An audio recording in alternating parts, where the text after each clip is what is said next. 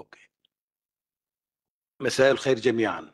أرحب بكم أجمل ترحيب في هذا المكان العريق وفي هذا اللقاء الحواري العلمي المخصص لكتاب التأويليات وتاريخها نحو بدايات جديدة. الصادر عن مؤمنون بلا حدود في العام الماضي 2023 كما نعلم يتضمن وكما سنرى يتضمن الكتاب نصوصا بالغة التنوع والغنى عن التأويليات وهذه النصوص أو الأعمال مهداة إلى أحد أبرز المختصين في هذا الميدان الأستاذ دكتور والصديق العزيز محمد أبو هاشم محجوب. هلا قبل البدء بالمداخلات اسمحوا لي بالتعبير عن جزيل الشكر وعظيم الامتنان للمجمع التونسي للعلوم والآداب والفنون بيت الحكمة وخصوصا لقسم العلوم الإنسانية والاجتماعية فيه وأخص بالذكر رئيس المجمع الأستاذ الدكتور محمود بن رمضان ورئيس القسم الأستاذ الدكتور عبد الحميد هنية. على احتضان هذا اللقاء العلمي الحواري والمبادرة إلى تنظيمه بالتعاون مع مؤسسة مؤمنون بلا حدود والدكتورة ميادة مصطفى كيالي وهي مديرة المؤسسة. أود الإشارة أيضا إلى أنه يعني يؤسفني أن أبلغكم أنه أن هناك شخصان كان شخصين كان يفترض أن يشاركان معنا لكن تعذر عليهما على كليهما المشاركة لأسباب خارجة عن الإرادة. وهما الأستاذ الدكتور فتحي التريكي والأستاذ الدكتور سعيد توفيق لأسباب خارجة عن الإرادة ونتمنى لهما كل الصحة والعودة سليمة إلى الوطن. لكن تبقى البركة في الحاضرين هنا أو عبر أثير ال ال الويب وليس الزوم. في كل الاحوال سنبدأ مداخلات اليوم وهي كثيفة لدينا أربع خمس مداخلات سنبدأ المداخلات اليوم بكلمة للدكتورة ميادة مصطفى كيالي وهي يعني مديرة مؤمنون بلا حدود ناشرة الكتاب والدكتورة ميادة هي باحثة وكاتبة سورية تحمل شهاده دكتوراه في الحضارات القديمة. تشغل حاليا منصب المدير العام لمؤسسة مؤمنون بلا حدود في بيروت والشارقة. ساهمت الدكتورة ميادة من خلال مؤسسة مؤمنون بلا حدود خصوصا في إنتاج ونشر أكثر من 400 إصدار شملت كتبا وأبحاثا متميزة في مجالات الفلسفة والفكر والدراسات الدينية.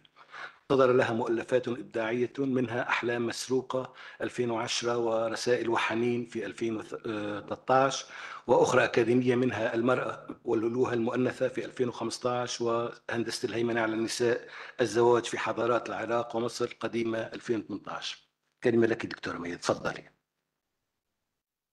بداية بدي أعتذر على الصوت نتيجة المرض وإن شاء الله ما يكون يعني مزعج. أود أن أتقدم بالشكر الجزيل إلى بيت الحكمة. أود أن أتقدم بالشكر الجزيل إلى بيت الحكمة في تونس على استضافتهم الكريمة لهذه الندوة المميزة. ويسرني اليوم أن أكون بينكم كممثلة عن مؤسسة مؤمنون بلا حدود لتقديم هذا العمل الهام. إن هذا اللقاء يعكس التعاون المستمر بين المؤسسات الفكرية في العالم العربي وتونس لها مكانة خاصة بلا شك سواء بالنسبة إلى مؤمنون بلا حدود أو بالنسبة لي شخصيا. لما شهدته وحضرته هنا من محطات مفصلية في مسيرتي مع مؤمنون بلا حدود. إن الذكريات مع تونس تعود إلى سنوات مضت حين كانت أولى الندوات بين عامي 2013 و 2014 نظمتها مؤسسة مؤمنون بلا حدود واستقطبت العديد من الباحثين والمفكرين وأساتذة الجامعة وأساتذة الجامعات. لتحل مؤسسة مؤمنون بلا حدود في عام 2015 ضيف الشرف في معرض الكتاب بتونس وعلى رأس المعرض أستاذي الفاضل الدكتور محمد أبو هاشم محجوب. وكان ذلك الاحتفاء الكبير بمؤمنون بلا حدود حينها يعكس مدى ما لمسه الجميع من اجتهاد المؤسسة في تقديم مختلف المشاريع الفكرية وفسح المجال من خلال منصتها لاستضافة مروحة واسعة وعريضة لمدارس عديدة في الفكر والدين والفلسفة. في تلك الفترة لم تكن مؤمنون بلا حدود قد أطلقت بعد دار النشر الخاصة بها. لكن مع نهاية ذلك العام عام 2015 تم تأسيس دار النشر في لبنان لتكون الحاضنة الرئيسية للإنتاج المعرفي للمؤسسة الذي تخطى حتى اليوم حاجز ال 400 عنوان. في عام 2019 وبمناسبة معرض الكتاب أيضا عدت مرة أخرى إلى تونس حيث شهد شهد جناح مؤمنون بلا حدود مهرجانا للتوقيعات واللقاءات الفكرية. ثم جاء عام 2020 وفرضت جائحة كورونا تحدياتها على كل مجالات الحياة والثقافية على رأسها. وهنا كان التحدي الكبير في مسيرة مؤمنون بلا حدود فتحولت دار النشر لتصبح ليس, فقط الحاضنة للإنتاج المعرفي بل الحامية لهذا الإرث الغني الذي قامت المؤسسة ببنائه عبر سنوات من العمل الجاد والملتزم. واليوم بهذا التاريخ من 2024 من هنا أرى أهمية تواجدي اليوم بينكم في هذه الندوة وفي استضافة بيت الحكمة العريق لأمثل مؤسسة التزمت ولا تزال بنشر المعرفة والبحث الرصين وتستمر في الإضاءة على كل المشاريع الفكرية الهامة في الوطن العربي والعالم. اليوم نجتمع للحوار عن هذا الكتاب الهام وهو التأويليات وتاريخها نحو بدايات أخرى أعمال مهداة إلى محمد أبو هاشم محجوب. للإشادة ليس فقط بمشروع التأويليات الذي رعته المؤسسة بل للاحتفاء أيضا بعلم من أعلام التأويليات وهو أستاذي الفاضل الدكتور محمد أبو هاشم محجوب.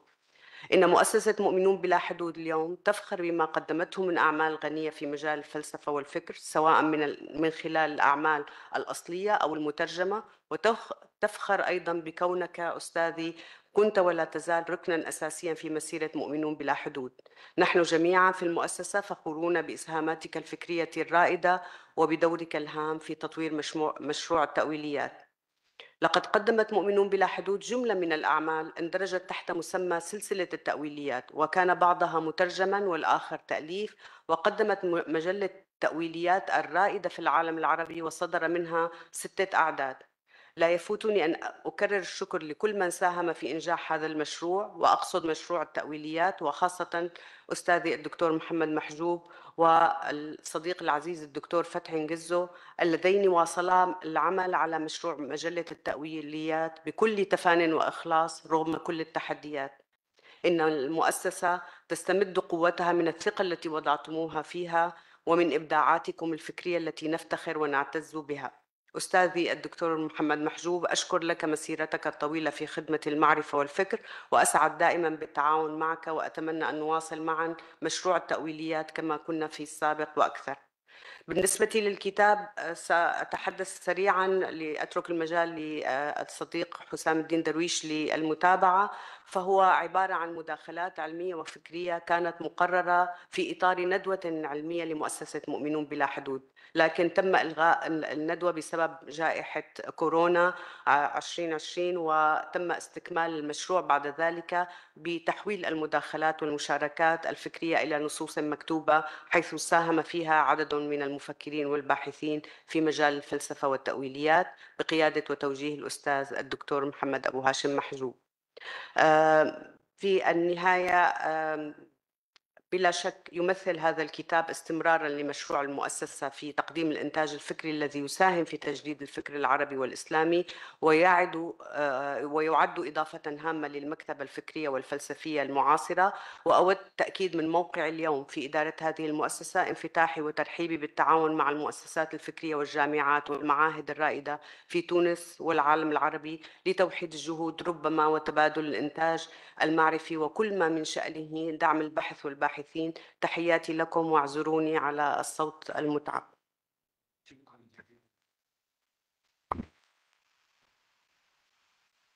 شكرا لك. شكرا جزيلا لك. أوكي شكرا جزيلا لك دكتورة ميادة. كما تلاحظون يعني في الندوة في مداخلة الدكتورة ميادة لكن حتى في المداخلات الاخرى سيختلط الخاص بالعام والشخصي أو الذاتي بالموضوعي يعني وكل منهما يعزز الآخر. وسأبوح سر بسر يعني آه، بسيط أن كان هناك إلحاح واتصال خاص من الدكتور محمد أن رجاء ابتعدوا عن شخصي. يعني نريد أن نركز على الموضوع. لكن يعني الندوة والكتاب ونجتمع هنا يتقاطع فيها ثلاثة مواضيع مختلفة. يعني من ناحية أولى الحديث سيكون عن التأويليات عن المنطقة وتاريخها وأفقها وحاضرها. إذا هذه من ناحية أولى. لكن من ناحية آه، ثانية آه، آه، غير الموضوع العام نتحدث عن هذا الكتاب تحديدا أيضا. فيه نصوص بالغة الغنى متنوعة من عرب وغير عرب باللغة مترجمة ومؤلفه مواضيع متعددة المنطقة الدينية أو غير الدينية إلى آخره. لكن من الناحية الثالثة وهنا سيتقاطع كما سنرى في مداخلات يتقاطع أيضا الشخصي سنتحدث عن محمد محجوب المشتغل والمختص ومن أبرز المختصين في المنطقة في العالم العربي. وهنا ليس مسألة يعني بمعنى علاقات ودية أو شخصية وإنما هي بحث موضوعي ودراسة موضوعية في هذه المسألة. ويعني سأبدأ آه، بال يعني بالإشادة ليس فقط بالإشارة إلى العنوان. يعني أحيانا كنا نتحدث عن كت- كتب أخرى يعني ظاهر من عنوانها لكن هنا العنوان يعني له دلالات. اولا التعددية. عندما نتحدث عن التاويليات ليست تاويليه بالمنطقة وعن بدايات ليس بداية. بداية. اذا هذه التعددية يعني أنا من الزاعمين أن ال- الهرمنطيقه أو التأويلية هي أفضل من يقدم للتعددية في المجال المعرفي.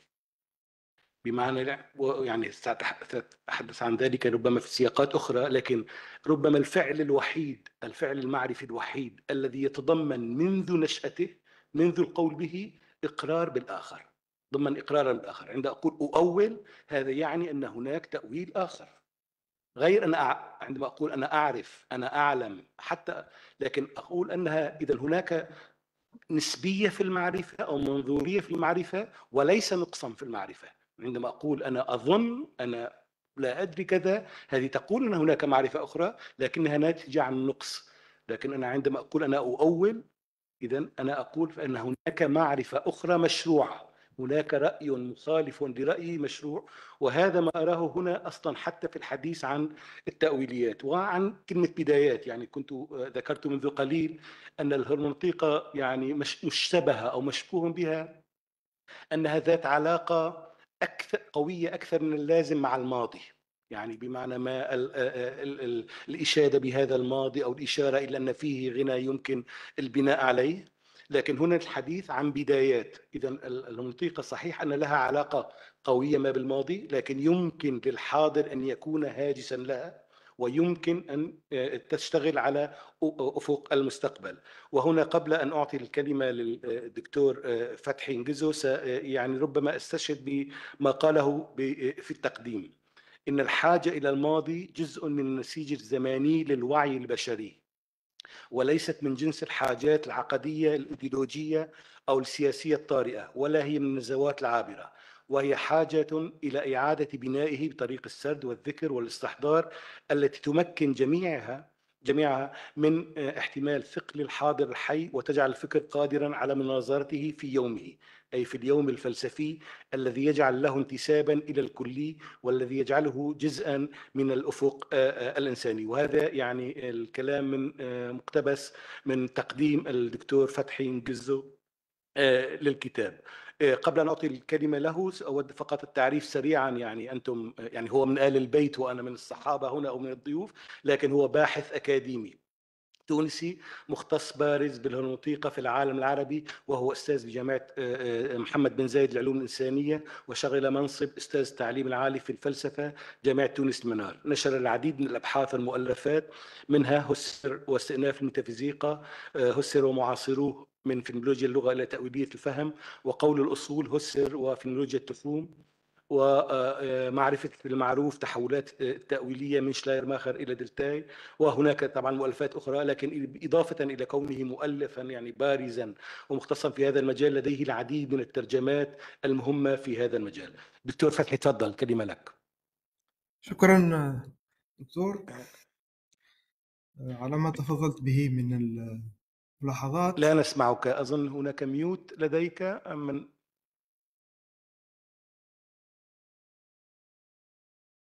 لا نسمعك. والآن. نعم. المفروض الصوت مفتوح.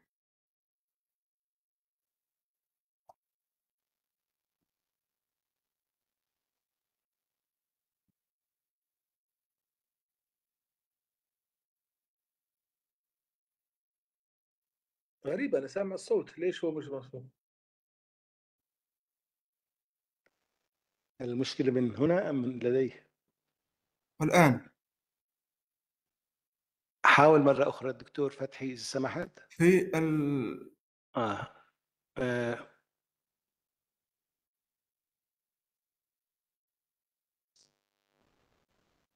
تحدث ربما.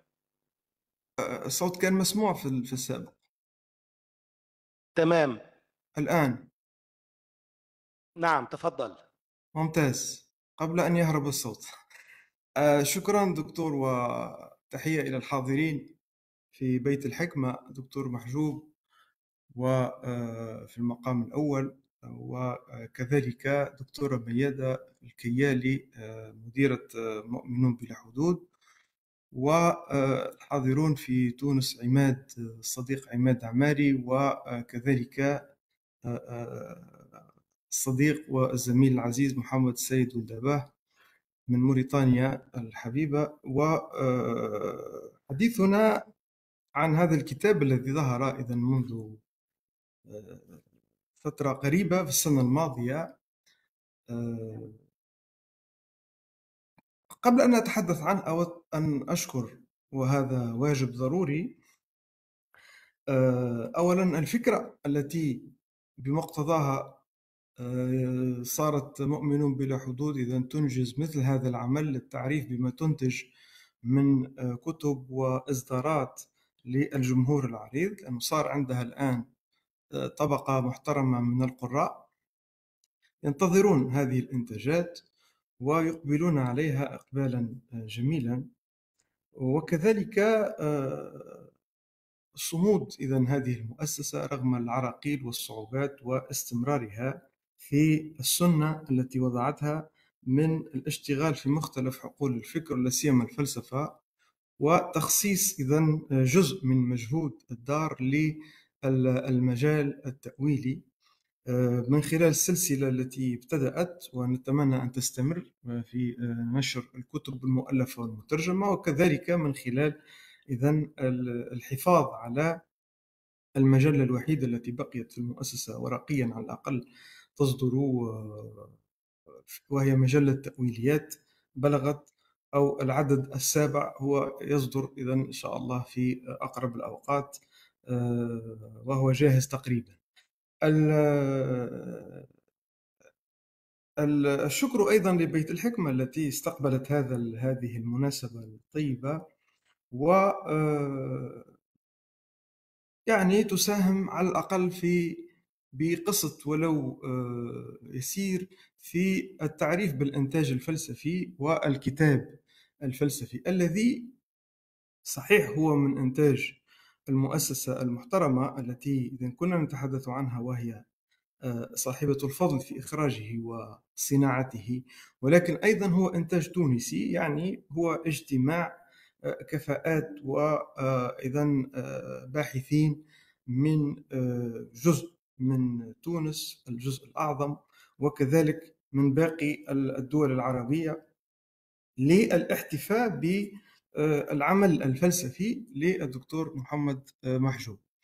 آه، طبعا انقطع في الأثناء لأنه حدثت آه، الج- الجائحة التي ذكرتها الدكتورة ميادة وتأجلت ال- الندوة ولكن في نهاية المطاف لم نستطع عقدها وحولناها إلى هذا الكتاب. الذي آه، شارك فيه ثلة من ال- الباحثين والمفكرين. وربما يبقى هذا الكتاب ذكرا آه، أولا ذكرى جميلة لأنه فيه تكريم واحتفاء آه، يندر تقريبا في العربية أن يحدث بالشكل المرجو. والثاني هو أنها أيضا ذكرى ال- الفترة الصعبة التي مررنا بها جميعا و آه، نحن موجودون هنا ربما لأننا نجونا من من- عبور يعني ال- الصراط الذي مررنا به في 2020 إلى 2022 تقريبا طيلة سنتين آه، تقريبا. فالحمد لله على كل حال. ال- ال- الأمر الثالث هو أن الاحتفاء بالتكريم في هذا الكتاب لا يعني أن عمل محمد محجوب هو كله مخصص للتأويلية آه، حتى لا يقع في ظن القارئ آه، غير المتخصص أو القارئ الذي يعرف جزئيا المنشورات والمعطيات في الفلسفة أن آه، التخصص الذي ينسب إلى إلى محمد محجوب أو أحيانا إلى بعض الباحثين الآخرين من الأساتذة هو نسبي إلى حد كبير لماذا؟ لأن التفكير يمكن أن يتركز يأخذ وجهة يأخذ أسلوبا تأويليا ولكن التأويلية في نهاية المطاف ليست بالضبط هي آه، جزء كلاسيكي من أجزاء الفلسفة. هي أوسع من ذلك بمعنى أنها تتصل بمعارف وعلوم أخرى وفي الفلسفة هي تحاول أن تفتك لها موقعا آه، آه، بمحاذاة التخصصات الأخرى. فإذا الذي هو غير معروف عند الجمهور أن آه، محمد محجوب اشتغاله الأساسي هو في تاريخ الفلسفة أولا. يعني تاريخ الفلسفة نحن درسنا هذا الأمر على يديه. تاريخ الفلسفة القديمة تاريخ الفلسفة الحديثة أيضا وبشكل خاص تاريخ الفلسفة المعاصرة. ثم من بعد ذلك وأيضا تاريخ الفلسفة الإسلامية آه، في نوع من السفر والتنقل بين هذه المجالات بارتياح آه، كنا آه، تلقيناه في الدروس وتشكلت به نظرة وأسلوب عمل ربما ليس له نظير بالمعنى الحرفي في المؤسسات الجامعية الأخرى. إلى أن أنه إلى حد الآن عندما ألتقي أصدقاء من الدول العربية المختلفة آه، دائما يشيرون إلى هذا الأمر إلى أن هناك في الإنتاجات الفلسفية إذا التونسية ما يدل على روح خاصة في التعامل مع التراث الفلسفي. وهذا يؤثر في القراء ويؤثر في الباحثين ويعطي انطباعات جيدة وثابتة.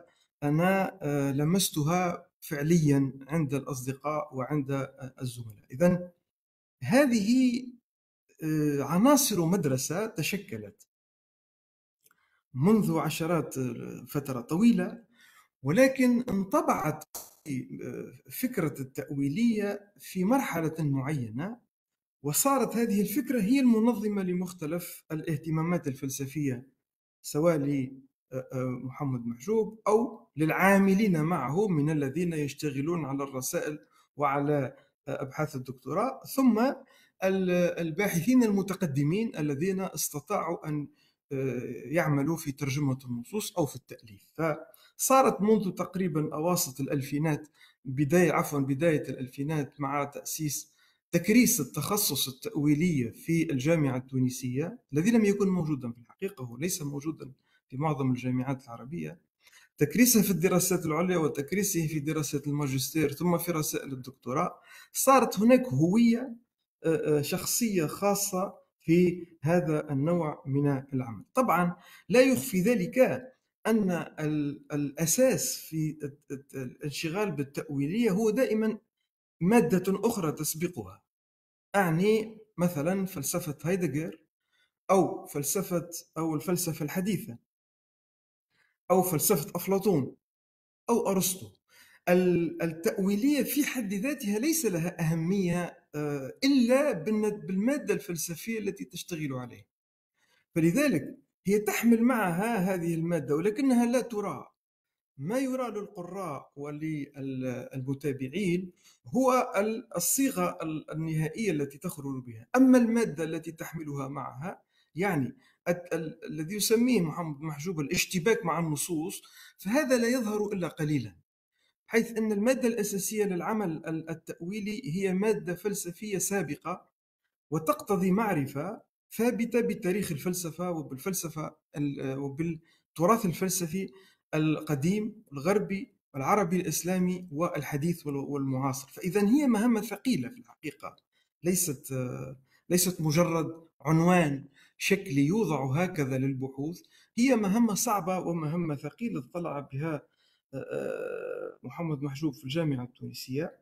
وأجد أن حينما سنحت المناسبة لتكريمه في هذا في في ذلك الوقت الذي تحدثنا عنه طبعا في في أفق استقبال القراء كانت فكرة التاويليه هي الفكرة الأنسب لأنها سياق ولأنها آه، جامعة لمختلف البحوث ومختلف الأنشطة.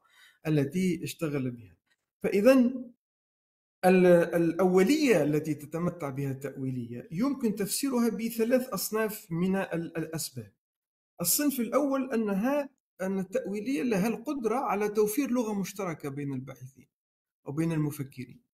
اللغة المشتركة هذا النمط من الكويني هي آه، سياق جامع نشأ بالتدريج ثم صار الآن إذا آه، عنوانا لمجامع فلسفية وإذا أنشطة كثيرة ومنشورات أيضا.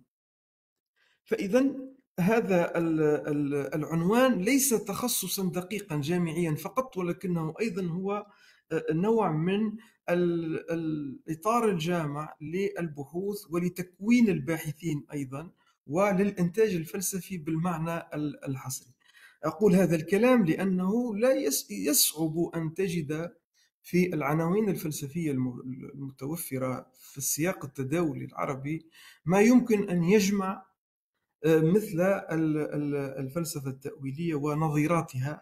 أقصد مثلا الرافد الفينومينولوجي الأساسي لهذه الفلسفة. أقصد مثلا المصادر الأساسية من تاريخ الفلسفة الحديثة. أقصد أيضا المدارس المعاصرة القريبة منها الكانتية المحدثة الفلسفة التحليلية النظرية النقدية المدارس التأويلية الأدبية ثم اللاهوت وفلسفة الدين إلى غير ذلك. فعندك مجال كبير جدا واسع يستطيع استقطاب الباحثين وتكوينهم على مستوى عالي. السبب الثاني أو الداعي الثاني أن آه، التأويلية أيضا هي عابرة للتخصصات وعابرة أيضا للفلسفات وللمذاهب والنظريات وهي فكر كما ذكر الدكتور حسام في البداية فكر يحتمل الآخر. يعطي الحق للآخر. ف آه، وأنا أفكر في تقديم هذا الكتاب خطرت على بالي الفكرة أن القدرة على الاحتمال الآخر في نوع التنافس الفلسفي هذه غير متوفرة وغير موجودة بسهولة. آه، من ذلك مثلا ما نراه في كثير من الأوساط الجامعية آه، في تونس وخارجها في الدول العربية أيضا من آه، نزوع بعض التيارات الفلسفية إلى أقصاء غيرها. إذا هي توجد من حيث أنها لا تتحمل أن تدخل في نوع من الاشتراك ونوع من التفاعل مع التخصصات النظيرة. لها عكس ما حدث تماما في المجال التأويلي الذي لم يعلن عن نفسه أبدا أنه عدو لأي تخصص آخر ولم يعلن عن نفسه أنه ينوي استبعاد أو إقصاء. ولكن هل رأيتم ندوة أو مؤتمرا فلسفيا يكون فيه الجمع بين متخصصين في الفلسفة التأويلية أو الفلسفة الفينومولوجية أو غيرها وبين نظراء لهم من التخصصات الأخرى؟ لا يوجد. لا يوجد لا لأن الصدفة تركت ذلك ولكن لأنه ليس هناك تقبل متبادل بين الباحثين في المستوى الأكاديمي. فإذا الفكر التأويلي فكر متسامح يعتبر نفسه جزءا من الآخر جزء من الآخرين يتفاعل مع الآخرين ويستمد مادته الأساسية إذا من المناظرة الجدل الحوار الذي إذا يقيمه مع المحاورين أو المخاطبين له دوما فإذا آه، آه، أنوه بهذا الشرط الأخلاقي إذا التأويلية أخلاقية أيضا نوع من الهرمنوتيكا موراليس يعني بالمعنى عصر الأنوار آه، هي فيها شروط أخلاقية في التفكير من درجة عليا. السبب الثالث هو أن التأويليات هي أيضا آه، فرصة ونوع من العمل يدرب الباحثين والمفكرين على العمل المثابر والصبور لكونها تتعلق بنوعية صعبة من النصوص. لا فقط النصوص الفلسفية النظرية وإنما كذلك النصوص الدينية النصوص العلمية النصوص الأدبية النصوص الخاصة الآتية من التقاليد الفيلولوجية وكذلك آه، مختلف أصناف النصوص فهي تتشابك معها باستمرار. ولذلك يصعب أن نقف في التأويلية على نوع من التخصص الفلسفي الخالص إنما هو تخصص مختلط بغيره بالضرورة يأخذ المادة من غيره أيضا.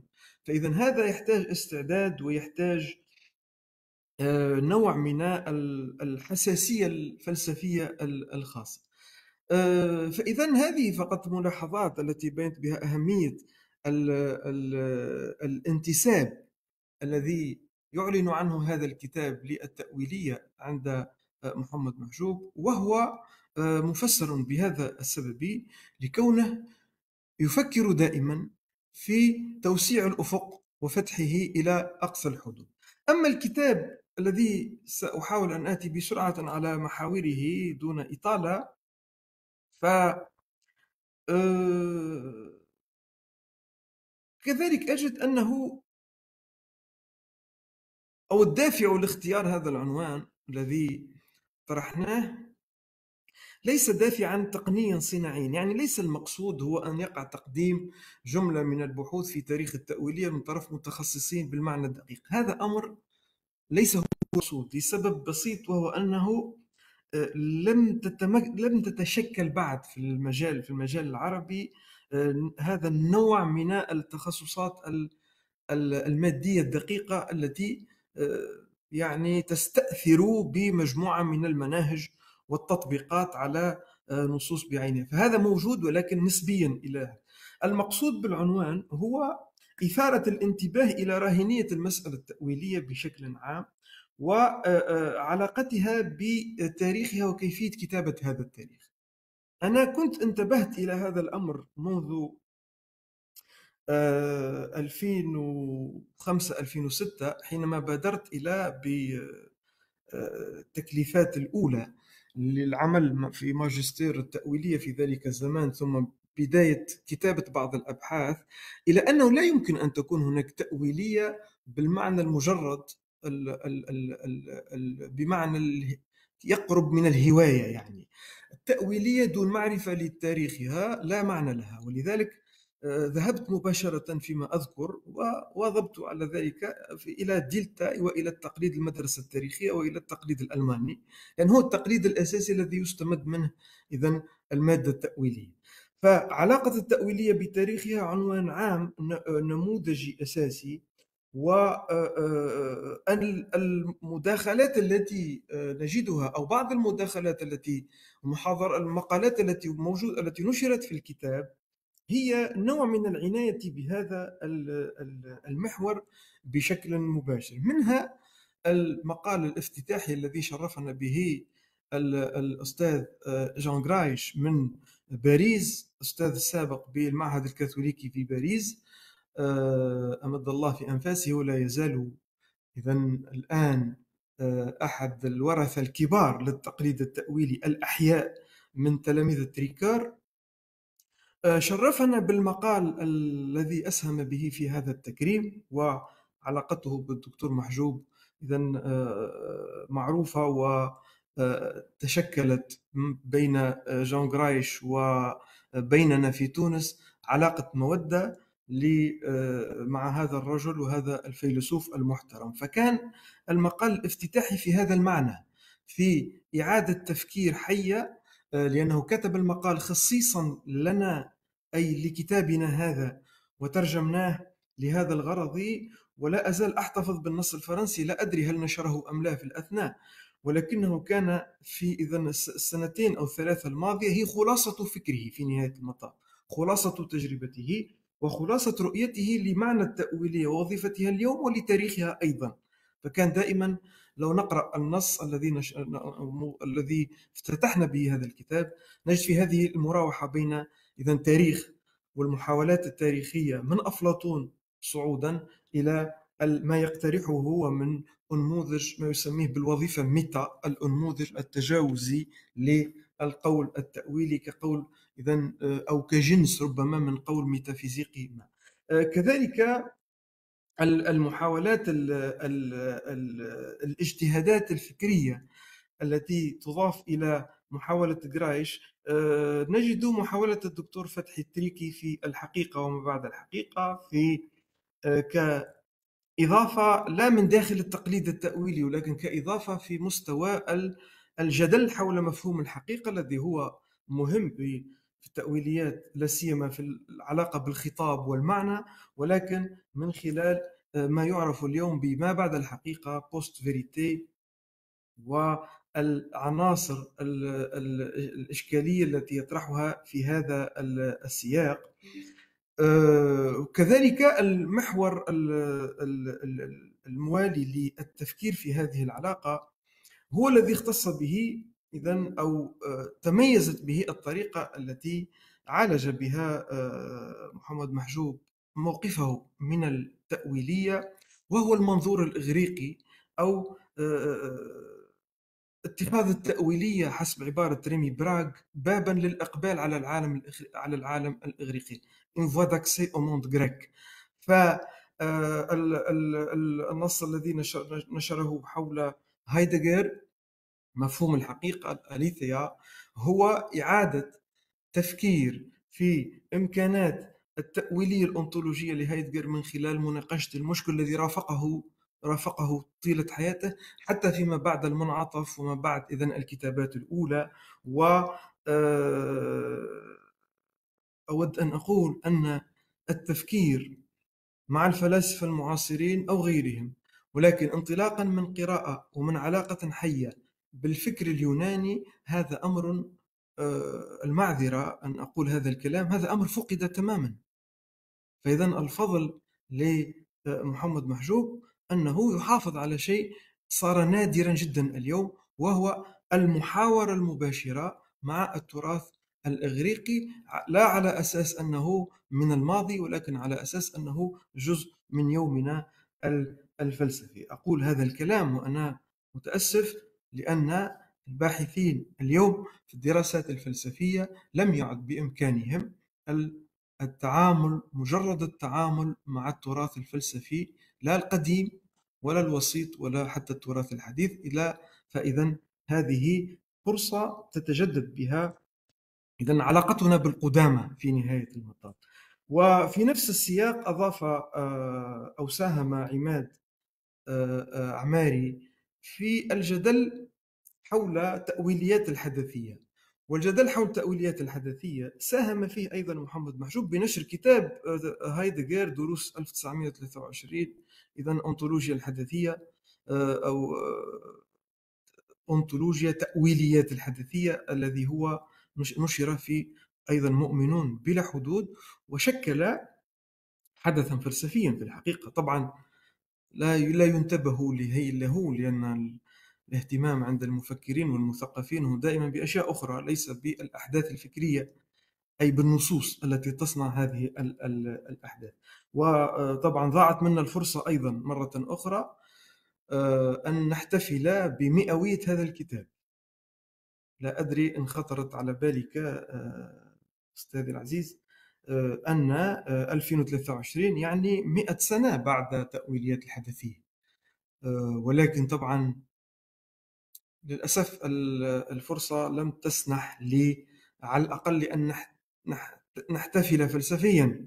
لا فقط بهذا الكتاب ولكن أيضا بالفكرة وبالفلسفة فلسفة هايدغر الشاب التي آه، أعتبر أنها فلسفته الحقيقية. آه، باختصار لا أطيل عليكم ال- ال- المحاور الم- المحور الثاني والثالث في هذا الكتاب آه، يتعلقان تباعا بأمرين آه، لا يتصلان مباشرة بتاريخ التأويلية إنما يتصلان بها بطريق المداورة أو بطريق غير مباشر. ال- ال- ال- المحور الذي يتعلق بالنماذج النماذج التأويلية مثل ما نرى في نص الدكتور سعيد توفيق نموذج السيرة الذاتية وهو نموذج حي نموذج خاص من الكتابة ومن تقديم إذا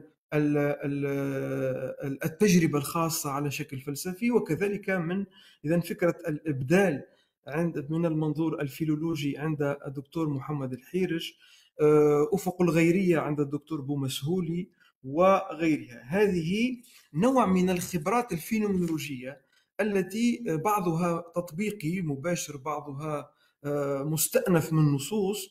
وشكل إذن المجموعة الثانية من ال- ال- المقالات. المجموعة الثالثة من المقالات هي ما سميته أنا هي التنويعات فارياسيون يعني هي آه، تنويعات على النواة التأويلية الثابتة لهذا الكتاب. ولكن هذه التنويعات أتت إما من باب الحداثة آه، مقالة أبو بكري أو من باب الدين وهو المقال الذي تقدمت به أنا في حول شليرماخر آه، الذي آه، ليس فقط هو مفكر تأويلي ولكن أيضا هو مفكر الدين أو إصلاح اللاهوت في العصر الحديث. التنويع الأخير هو الذي يرتبط بالمقالات الثلاثة أو الأربعة الأخيرة المجموعة في نهاية الكتاب المتعلقة كلها بالنص القرآني.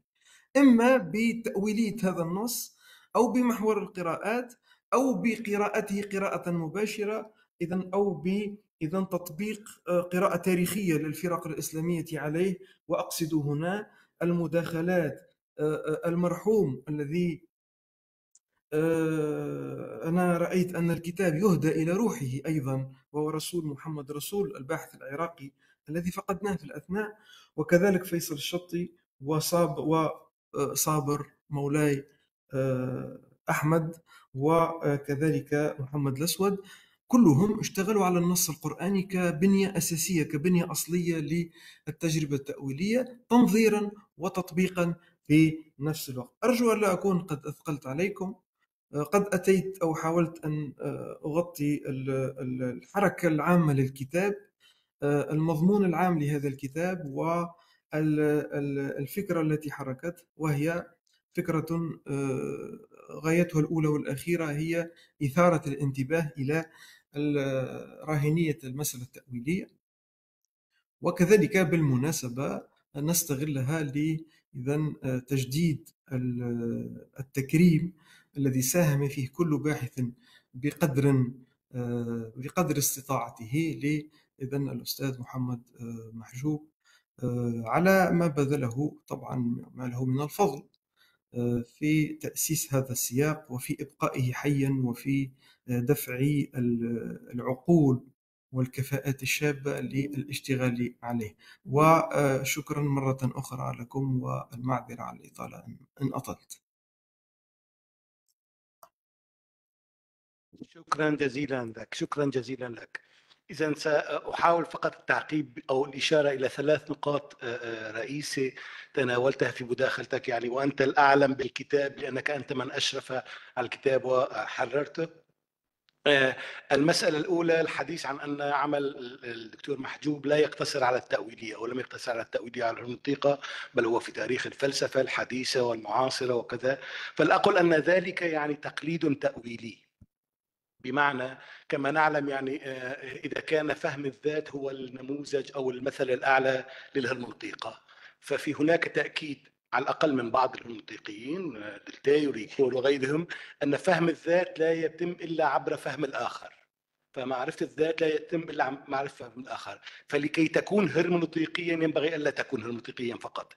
لكي تكون تأويليا ينبغي ألا تكون تأويليا. آه، فقط بهذا المعنى يعني آه، معرفة الهرمنطيقة أو الهرمنطيقة تتعمق من خلال ال- ال- الخروج منها ولا يعني هنا آه، لا يكون إفقار لها. المسألة الثانية يعني هنا سأكمل يعني سأكمل وفي التكميل أحيانا اختلاف ما ذكرته بالفعل التأويلية يعني هذه الروح الأخلاقية أو هذا البعد الأخلاقي في عملية الفهم والتأويل وفي توفير لغة مشتركة. لكن كما تعلم أيضا أنها صارت عنوانا للشقاق في ال- المشهد الفلسفي العالمي. لدينا هناك قسمان أساسيان يتصارعان مؤسساتيا ومعرفيا وفكريا واحيانا إلى ويتصارعان أحيانا. وهذا يعني من واقع الخبرة التي أعيشها في ألمانيا التي يفترض أن تكون معقل من معاقل الفلسفة الهرمنوطيقيه وهي أحيانا مستبعدة أو منكر عليها أن تكون فلسفة أصلا أو أن هي جزء من فلسفة أو كذا.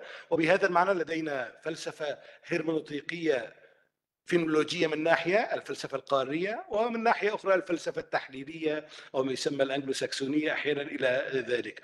وهذا يعني آه، آه، العداء فلنقل أنه يتحمل مسؤوليته الجانبان يعني ليست الهرمنوطيقة هي الضحية هنا هي تريد ال- ال- الوئام. أنت تعرف أن هناك من اتهم آه، جادامير وهايديغر من قبله عن حق أو بدونه أنهم هناك نظرة غير إيجابية للعلم.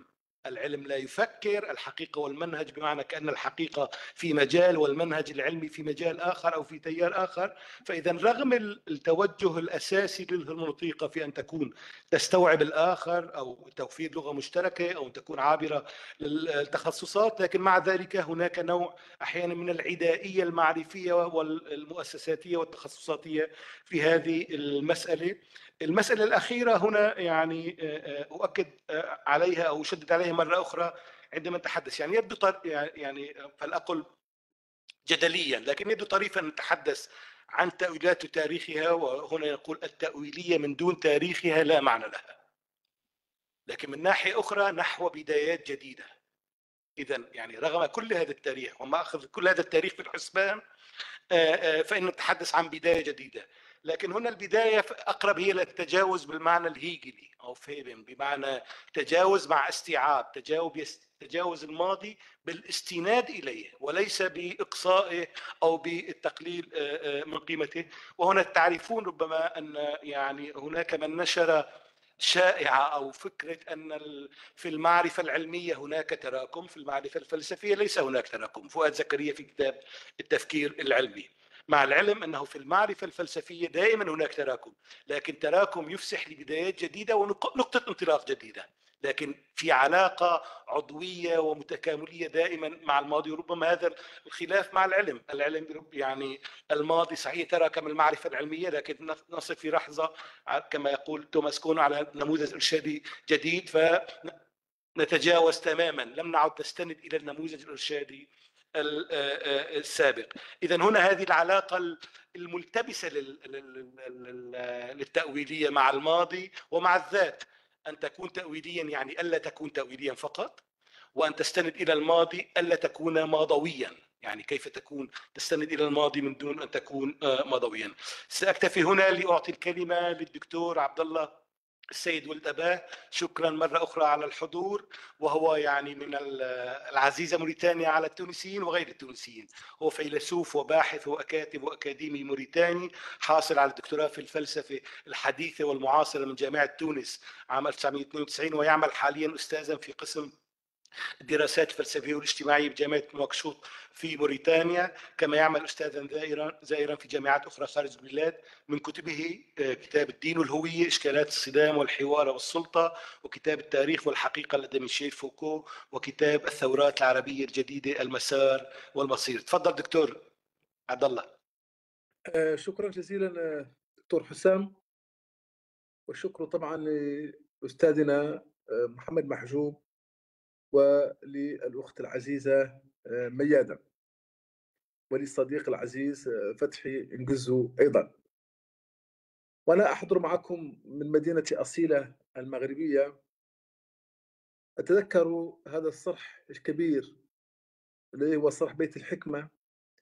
وأتذكر الندوات الفلسفية العديدة التي آه، حضرتها في هذا الصرح أيام تولي إدارته من طرف أستاذنا كلنا آه، آه، المرحوم عبد الوهاب بوحديبة فتكون هنا فرصة للترحم عليه وتذكره وهو الأستاذ الكبير الذي تعلمنا منه أيضا من بين الأشياء الكثيرة هذا المنحى التأويلي الذي كان خاصا به.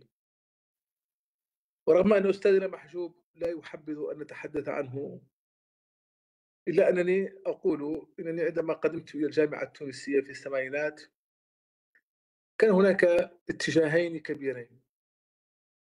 هناك اتجاه يتمحور حول الكلاسيكيات الفلسفية وهو اتجاه قوي ومتجذر ولا شك أنه شكل إحدى الميزات الإيجابية في المدرسة الفلسفية التونسية. وهناك اتجاه آخر. ابيستيمولوجي نقدي. هذا الاتجاه أيضا الذي برز بقوة في المدرسة الفلسفية التونسية وكان محجوب تقريبا الوحيد الذي بدأ مبكرا هذا التبشير وأقول التبشير بين المزدوجتين بالفلسفة التأويلية. سواء في دروسه الخاصة أنا اطلعت مبكرا على أطروحته للدكتوراه حول قراءة هايدغر لفلسفة أفلاطون. وأثار انتباهي آه، آه، هذا الاهتمام المبكر ب آه، تعرفون أن هايدغر هو نقطة التقاء الفينمولوجيا والهرمنوتيقا قد كان هذا الاهتمام مبكر بفلسفة هايدغر وبالمنحى التأويلي خصوصية كبرى للأستاذ محجوب وكان وقتها تقريبا هو الوحيد الذي يهتم بهذه الأشياء. ثم إنه عندما تولى الإشراف على عدد من المؤسسات التربوية والتعليمية سواء في الكليات أو في المدارس أيضا بدأ الاشتغال على هذا المنحى التأويلي. وهذا المنحى التأويلي رغم أن الأخ فتحي تحدث عن اهتمامات أخرى لمحجوب الذي كتب حول الفارابي وكتب حول هوبس وحول أفلاطون وأرسطو إلا أنه حتى في تناوله لهذه المناحي الأساسية في تاريخ الفلسفة ظل دائما يتمتع بهذه العين التأويلية. وأنا هنا أشبهه برجل يحبه كثيرا ويقدره كثيرا وهو بوريكور الذي تناول كل تاريخ الفلسفة تقريبا وكل الإشكالات الفلسفية تقريبا. ولكنه ظل محافظا في كل هذه الكتابات على منحاه التأويلي على ما سماه هذا الجمع سمى حتى لاغريف هذا الجمع بين الفينمولوجيا وبين آه، الهرمونوتيقا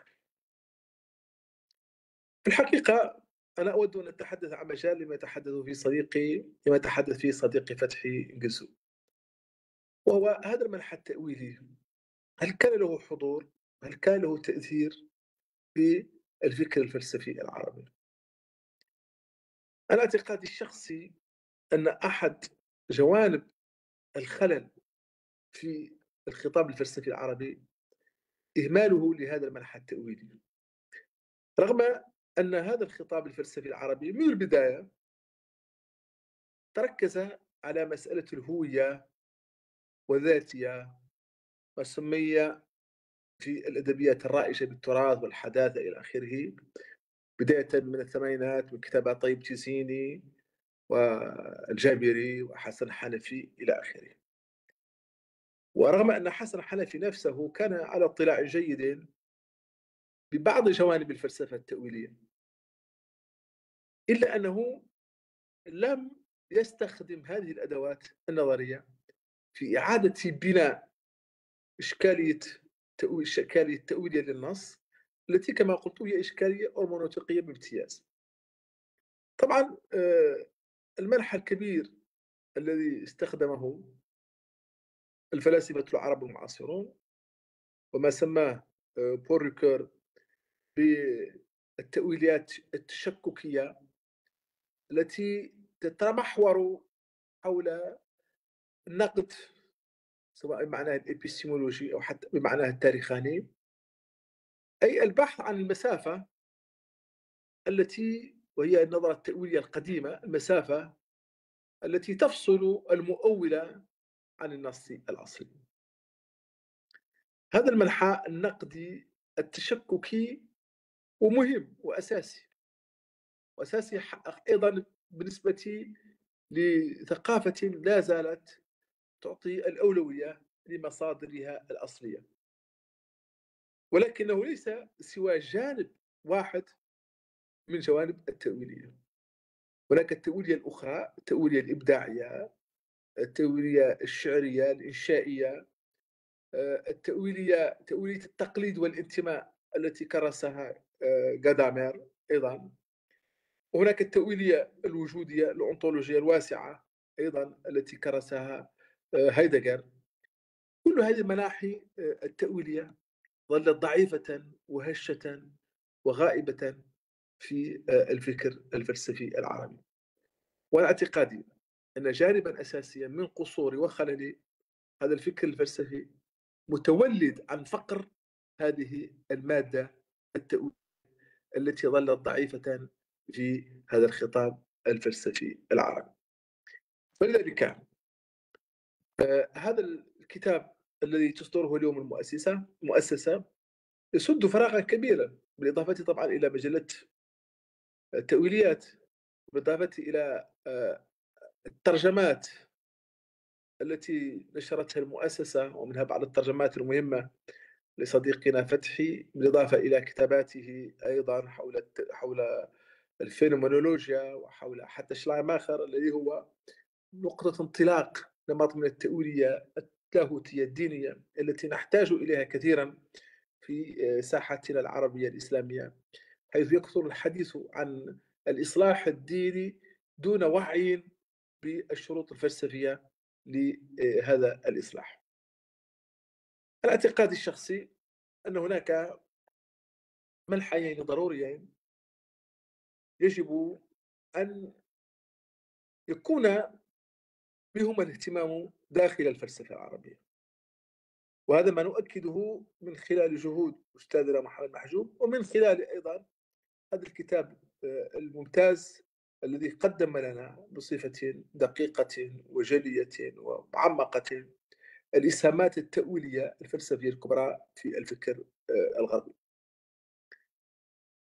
هذا المنحيان هو ما يلي أولا الاعتقادي أن المنحى الأول الذي يجب أن نركز عليه هو وضع مادة أو عدة تأويلية جديدة للنص.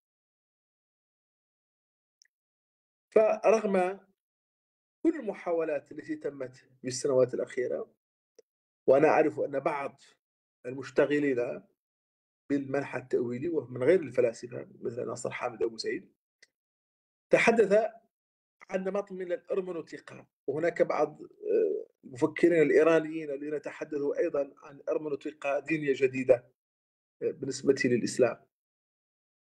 ولكن هذا المنحى ظل دائما فقيرا بينما نجد في آه، التراث التأويلي الغربي أدوات جديدة قابلة لأن نستمد منها الكثير.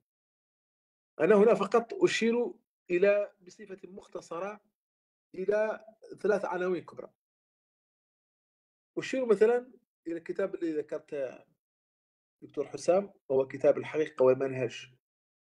لجادامير وفي هذا الكتاب هناك فعلا إطار فلسفي جديد ومنهج جديد لقراءة التقليد بدلا من التراث. اعتقادي أن مفهوم التراث مفهوم مضلل وأنه يضعنا أمام مشكل لا حل له وهو العلاقة بما نعتقد أنه ترك من الماضي. بينما في الحقيقة عندما ننظر إلى هذا النص من منظور التقليد فنحن نتحول إلى إشكالية جديدة هي إشكالية الانتماء والمسافة حسب عبارة ريكور إشكالية الانتماء والمسافة وهي إشكالة إشكالية آه، تفتح آفاقا أخرى بديلة عن هذا الأفق آه، الفقير الذي رسخته آه، تأويلية التراث. الكتاب الثاني أو المنحى الثاني الذي يمكن أن نستمد منه أيضا الكثير وهذه التأويلية الوجودية التي بل وراها جادامير بل وراها هايدغر وقد أحسن أستاذنا محجوب بترجمة نصوص الحدثية لهايدغر التي نبهنا الأخ فتحي إلى أنها قد تش... أنها أننا عشنا في السنة الماضية مئويتها. هذه أيضا هذه التأولية الوجودية مقابل النص والتقليد. هي تأولية رحبة لأنها تبين لنا أن النص هو أيضا عالم عالم ليس فقط من العلامات والرموز وإنما هو نص أوسع حتى من المقروء وهذا المنحى الوجودي منحى أساسي.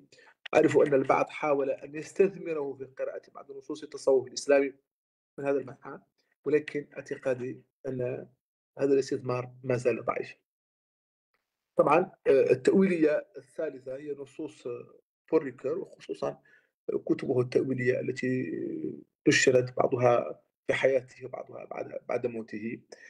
وهذه النصوص على اعتقادي أنها أكثر نصوص ملائمة لنا وأكثر نصوص قادرة على أن توفر لنا أدوات جديدة في قراءة هذا النص. اذا هذا هو المرحلة الأول أي استثمار آه، الأدوات المادة التأويلية في قراءة النص من منظور علاقة بالتقليد العربي الإسلامي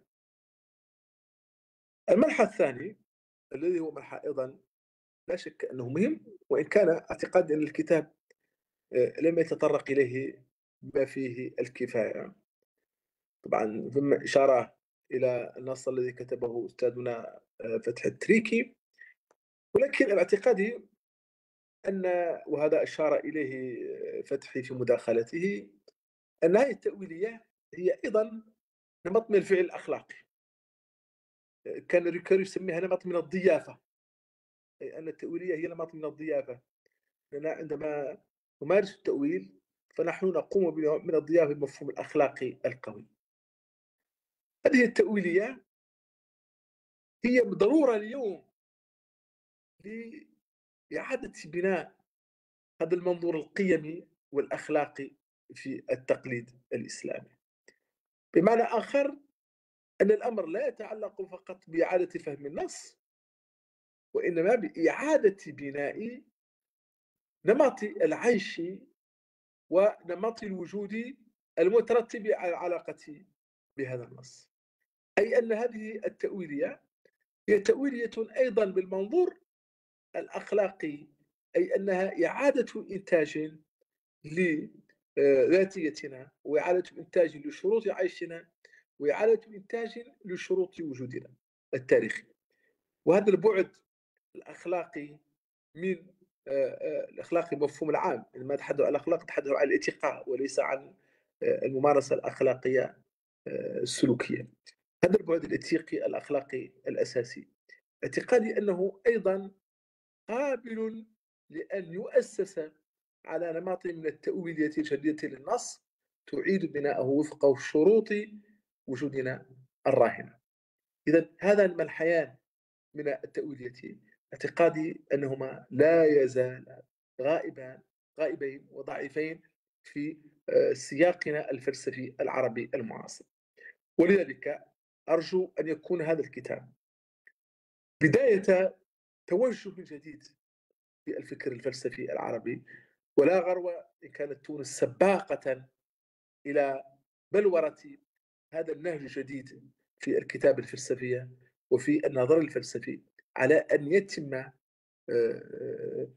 تبيئته داخل ساحتنا الفلسفية العربية انطلاقا من التعريف بهذه الأدوات وهذه الأدبيات وأيضا بتطبيق هذه النصوص من خلال التأويليات التطبيقية التي أيضا لا تزال ضعيفة ومحدودة للغاية في فكرنا الفلسفي العربي. وشكرا جزيلا.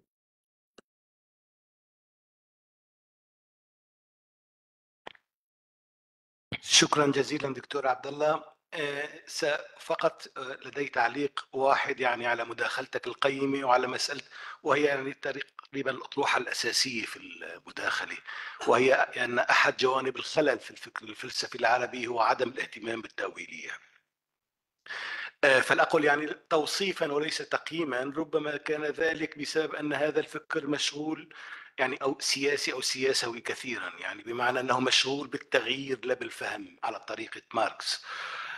مشغول بالتقييم لا بالوصف مشغول مشغول بالمحاكمة لا بالتحليل.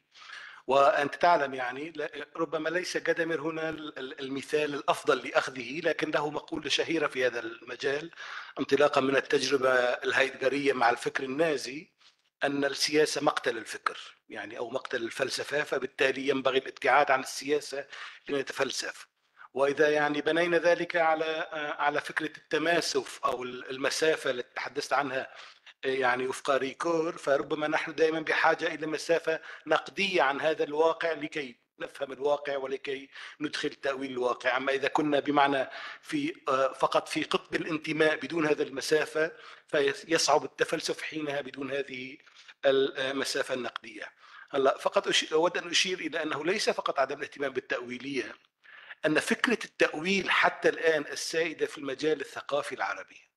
في اللغة العربية والمجال الثقافي العربي حتى الآن مأخوذة من العصور الوسطى. يعني ما هو التأويل؟ فكرة مأخوذة من العصور الوسطى. وماذا تعني التأويل في اللغة العربية؟ حتى الآن عندما نستخدمها ونتحدث عن كتب نخبة يعني عن كتب مطبوعة مؤسسات عريقة ومن باحثين جامعيين. ما التأويل؟ يتعلق باللفظ. إذا كلمة هناك معنى مجازي ومعنى حقيقي ننتقل من وهذا هو تعريف ابن رشد، تعريف ابن عربي، تعريف اللغويين، تعريف كذا، حتى الآن الحديث عن التأويل هو حديث أن كلمة ربما لها معنى آخر، ربما لها معنى مجازي، هل هناك معقولية أن ننتقل من هذا المعنى؟ إلى هذا المعنى؟ هلا التأويل يعني في أبسط معانيه الفلسفية في المنطقة له معنى مختلف تماما ولا علاقة له أصلا بهذا بهذه الجزئية البسيطة. هي جزئية بسيطة. التأويل هنا مرتبط في بالمعنى الفلسفي الهرمنوطيقي مرتبط بمسألتين. أول شيء مرتبط بكلية في علاقتها مع أجزائها وهنا ما نسميه بالدائرة الهرمنوطيقية عندما نفهم أي شيء هناك علاقة جدلية تقوم. قصة أو أي نص. بين فهم أجزاء النص نفهم الجزء من خلال تصور ما للكل وعندما نصل إلى فهم الكل نعيد فهم الأجزاء. فمثلا إذا ذهبنا إلى النص القرآني الاختلاف ليس هذه الكلمة تعني هذا أم ذاك. كيف هذا النص الكلي يمكن أن نفهمه ككل من خلال الأجزاء ويمكن أن نفهم الأجزاء من خلال الكل؟ ليست مسألة أحادية أو يعني آلية. هذا المعنى طبعا بالإضافة المعنى الثاني للدائرة الهرمطيقية وهي العلاقة بين الفهم والفهم المسبق. لا ننطلق من نقطة صفر ونقول أننا بالمعنى الموضوعية ونقول أننا سنفهم شيء ما وإنما دائما الفهم متحيز بمعنى انطلاقا من فهم مسبق لكن هذا الفهم المسبق ليس جامد ولا حاكم مطلق يعاد صياغته من خلال الفهم اللاحق وهكذا وليك ونتحدث عن فهم ما بعد النقد ما بعد القراءة الذي يقرأ. هذا المعنى التأويل الأساسي في في غائب ونظل حتى الآن كلمة نحسبها أنها تتعلق فقط بإخراج المعنى من هنا مع العلم أن يعني كلمة تأويل واردة أكثر في القرآن حتى من كلمات أخرى من التفسير لكن يعني مشتبه بها دائما لماذا؟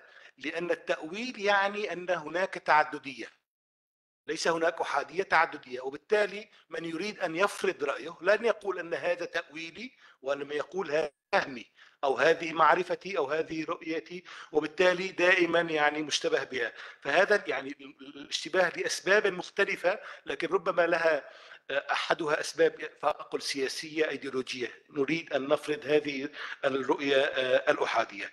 إذا لن أطيل أكثر من ذلك لأن لدينا يعني متحدث متميز آخر الدكتور عماد عماري وهو يعني أحد المسلمين والمتخصصين في هذه المسألة. طبعا يعني هنا أكرر كونه متخصصا في المنطقة لا يعني أنه ليس له اهتمامات أو مجالات أخرى لأن يعني الفلسفة أو الفيلسوف أو حتى المفكر بالمعنى العملي والنظري للكلمة لا يمكن أن يعني يحجر عليه في تخصص واحد وإلا كان يعني شيء آخر. اذا الدكتور عماد عماري كما قلنا هو أسهم في هذا الكتاب أيضا وهو أستاذ أول مميز درجة استثنائية بالتعليم الثانوي حاصل على الأستاذية في الفلسفة بكلية آداب جامعة صفاقس وعلى الماجستير في التأويلية وتاريخ الأنساق بالمعهد العالي للعلوم الإنسانية بتونس وعلى الدكتوراه في الفلسفة المعاصرة آه، بكلية العلوم الإنسانية والاجتماعية بتونس باحث في مجال الفنولوجيا والتكنولوجيات المعاصرة. يعني له مؤلفات لكن الأبرز آه، آه، المنعطف الهرمنطيقي للفنولوجيا تأويلية القلق في فلسفة هايدغر وله يعني أبحاث كثيرة محكمة وفي اختصاص الهرمنطيقة ربما فقط سأذكر البحث الأخير الذي أسهم فيه الكتاب وهو تأويليات الحدثية مدخل أساسي إلى فكر آه، آه، هايدغر تفضل دكتور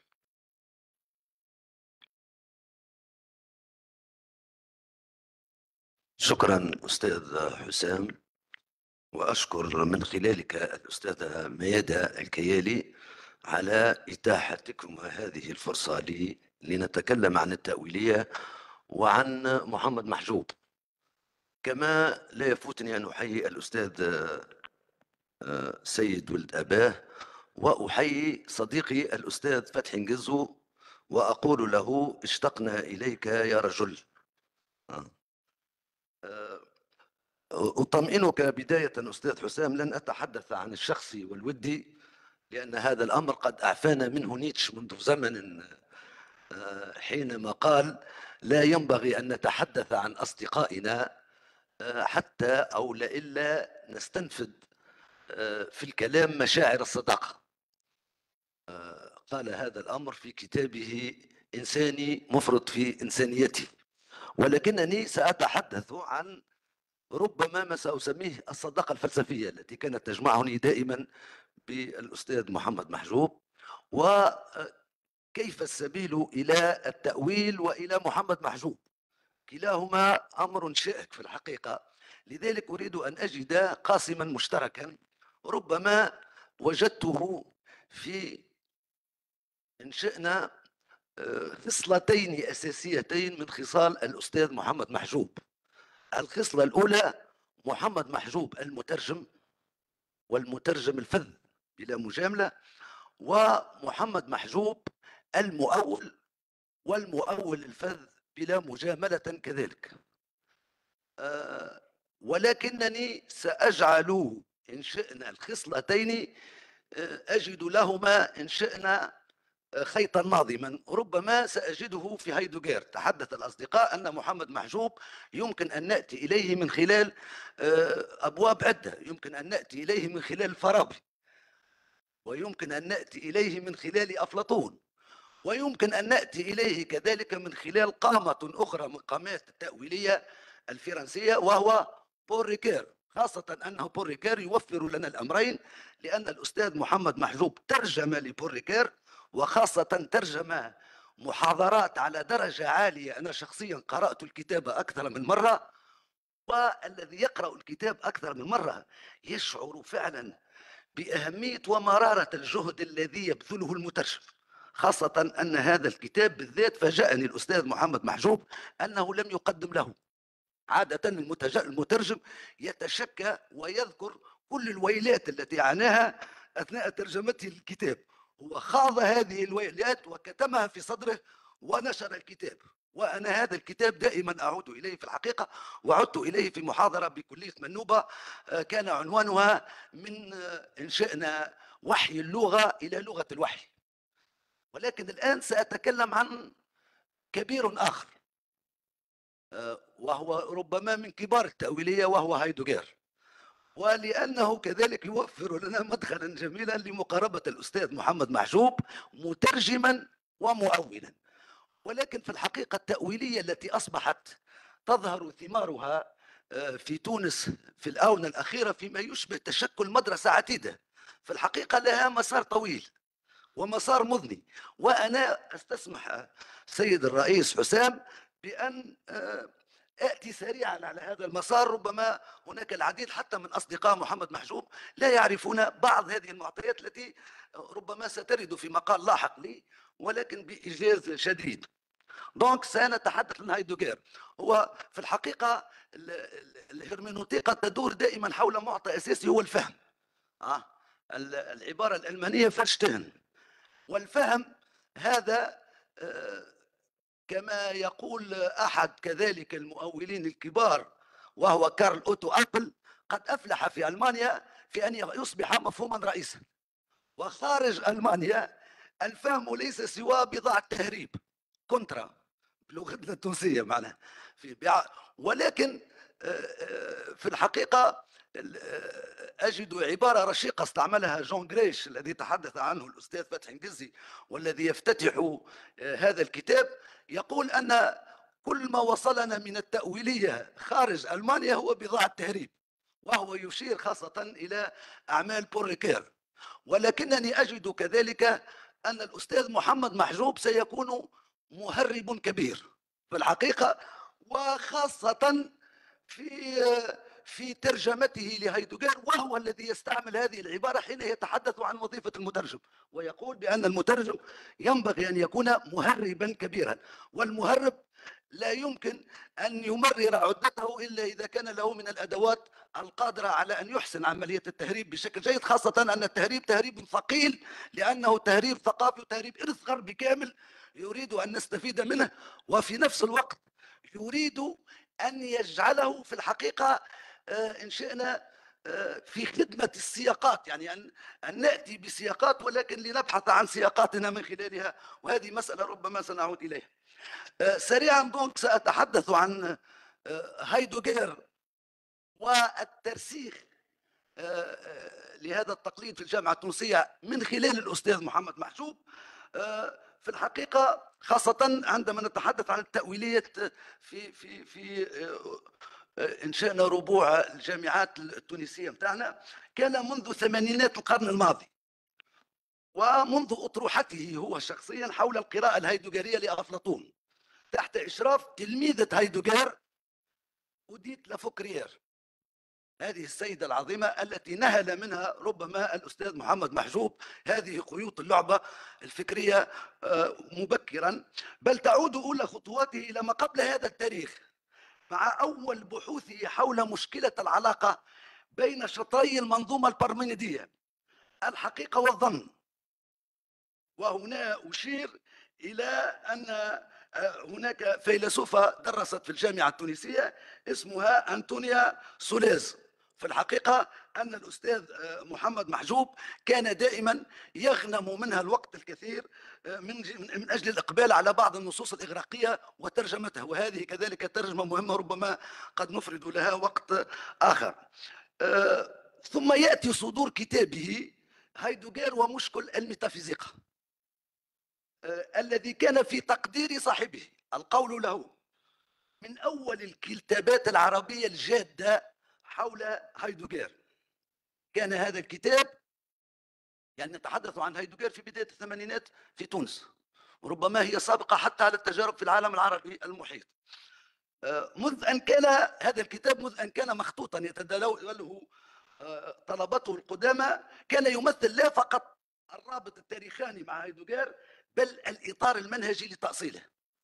وهو ما أثمر لاحقا اهتمامات تأويلية وفينولوجية سواء تعلقت رأسا بهايدوغير وهنا أشير إلى العنوان من العناوين المبكرة كانت والتي في الحقيقة هي من ثمار الأستاذ محمد محجوب هو كتاب الأستاذ فتحي المسكيني نقد العقل التأويلي أو فلسفة الإله الأخير. أو تعلقت بعلاقة هايدوغير بغيره من الفلاسفة شأنه سر وأنا أشير هنا إلى كذلك الكتاب للأستاذ فتحي نجزو هسير ومعاصروه من فينومينولوجيا اللغة إلى تأويلية الفهم. ولكن هذا الشغف بهايدوغير لم يتوقف عند هذه الأعمال بل ازداد تنوعا مع من جاء بعدهم من طلبة الأستاذ محمد محجوب الذي أشرف على أغلب الأطروحات التي دارت حول هايدوغير سواء من حيث العلاقة بين المنطق والفينومينولوجيا أو من جهة نقد التراث الغربي ومعضلاته الميتافيزيقية. هنا أسمي يعني عناوين لأطروحات دكتوراه تمت في الجامعة التونسية. أو من خلال الصياغة النقدية الهيدجرية لعلاقة اللغة بالميتافيزيقا عند هيجل. أو من خلال القراءة الهيدجرية لنيتش أو من خلال مفهوم الزمان من خلال دروس الشباب الهيدجرية أو تأويلية القلق في فلسفة هايدوغير الأول.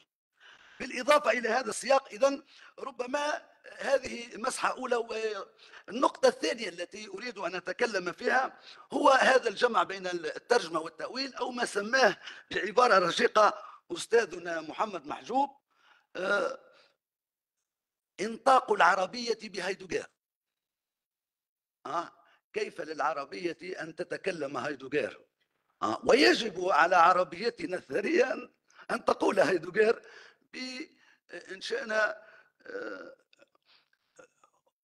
انشئنا صعوبة وتوعر المصطلحات الألمانية التي كان ينشطها هيدوغير في نصوص خاصة أن هيدوغير كان يقوم باستدعاء بعض المفاهيم المتداولة جدا في اللغة الألمانية ولكنها يقحمها في إطار سياق تأويلي يصبح الألمان بأنفسهم يطلبون منه ترجمة آه، أو تيسير قراءة هذا الكتاب. هو في الحقيقة هذا السؤال كذلك كان قد طرحه جرانيل عندما يقول هل لغة هيدوغير قابلة للترجمة أصلا؟ أو بسؤال الأستاذ محمد محجوب آه، هل يمكن إنطاق هيدوغير بالعربية؟ أو هل يمكن نطق العربية بهايدوغير وأنا في الحقيقة يعنيني هذا السؤال لأنني سأشتغل على هذه الترجمة التي أشار إليها الأستاذ منذ قليل الأستاذ فتحي نقزو وهي التي صدرت عن دار مؤمنون بلا حدود سنة 2019 آه، تأويليات الحثية آه، آه، أو الأنطولوجيا تأويليات الحثية في الحقيقة هناك ترجمة عربية أخرى قبل هذا الكتاب. ولكن انظروا دائما إلى لعبة الترجمة للأستاذ آه، عمارة الناصر تحت عنوان هيرمونيوتيقا الواقعانية. دونك من الواقعانية نتاع الأستاذ عمر الناصر أصبحنا نتحدث عن الأستاذ محمد محجوب على الحدثية. فلا بد للأستاذ أن يبرر لنا اختياره لهذا المصطلح. وأنا سآتي إلى بعض المبررات التي أعطاها لنا أستاذنا محمد محجوب. ولكن قبل ذلك أريد أن أشير إلى شيء أساسي يميز التجربة التي لا يزال في الحقيقة آه، يشتغل عليها الأستاذ محمد محجوب ويرسخها ويريد أن يوسع مداها حتى خارج تونس وفي إطار عالمنا العربي من أجل نيل في الحقيقة أكبر رهان وهو العالمية أو أن نرتقي إلى هذه آه ولا تكون حكرا في الحقيقة على هذا العالم الغربي. آه أن أنه يحمل الترجمة في مفهوم معين. ولذلك أريد أن أقتطف بعض ربما الخطوط لهذا المفهوم الذي يعطيه محمد محجوب للترجمة أو ما سنسميه الترجمة التأويلية أو ما يحلو له أن يسميه ترجمة مفكرة. لا يمكن أن تتعامل مع نصوص ثقيلة مثل هايدوغير آه، إلا بترجمة تفكر في نفس الوقت مع هايدوغير وربما أحيانا مع هايدوغير وضدها. ولما كانت الترجمة هي أحد مواضيع الرئيسية للتفكر الفينومنولوجي فضلا عن كونها ترجمة مفكرة من حيث هي ممارسة أصيلة للتأويل ومن حيث هي عشرة للنصوص لا حيلة لصاحبها إزاءها إلا حدسه فإن إنطاق العربية آه، بهايدوغير لابد أن يصدر عن عزم مترجم جوهر عمله وهنا القول للأستاذ محمد محجوب في إنطاق النفس بأقصى إمكاناتها فيها وأخفى مواردها عنها. القول يحتاج أن نعيده أكثر مرة. إنطاق النفس إن شئنا بأقصى إمكاناتها أن تكون مترجم. يجب أن تكون قادر على إنطاق النفس بأقصى إمكاناتها فيها وأخفى مواردها عنها. ذلك أن شأنه لم يكن وراثة معجمية الفيلسوف بل وراثة ممكنها. أي إنطاقها بما يجعل إصغاء آخر إليها ممكن. بل ممكنا وهذا على حد قول الأستاذ محمد محجوب هو فضل أو بعض فضل هايدوغير علينا. على هذا الأساس فإن أمانة الترجمة لا تقاس بمدى حرفيتها بل تقاس بمدى ما تنطق عن الشيء الذي في النص لا عن الكلمة الصماء عن الشيء.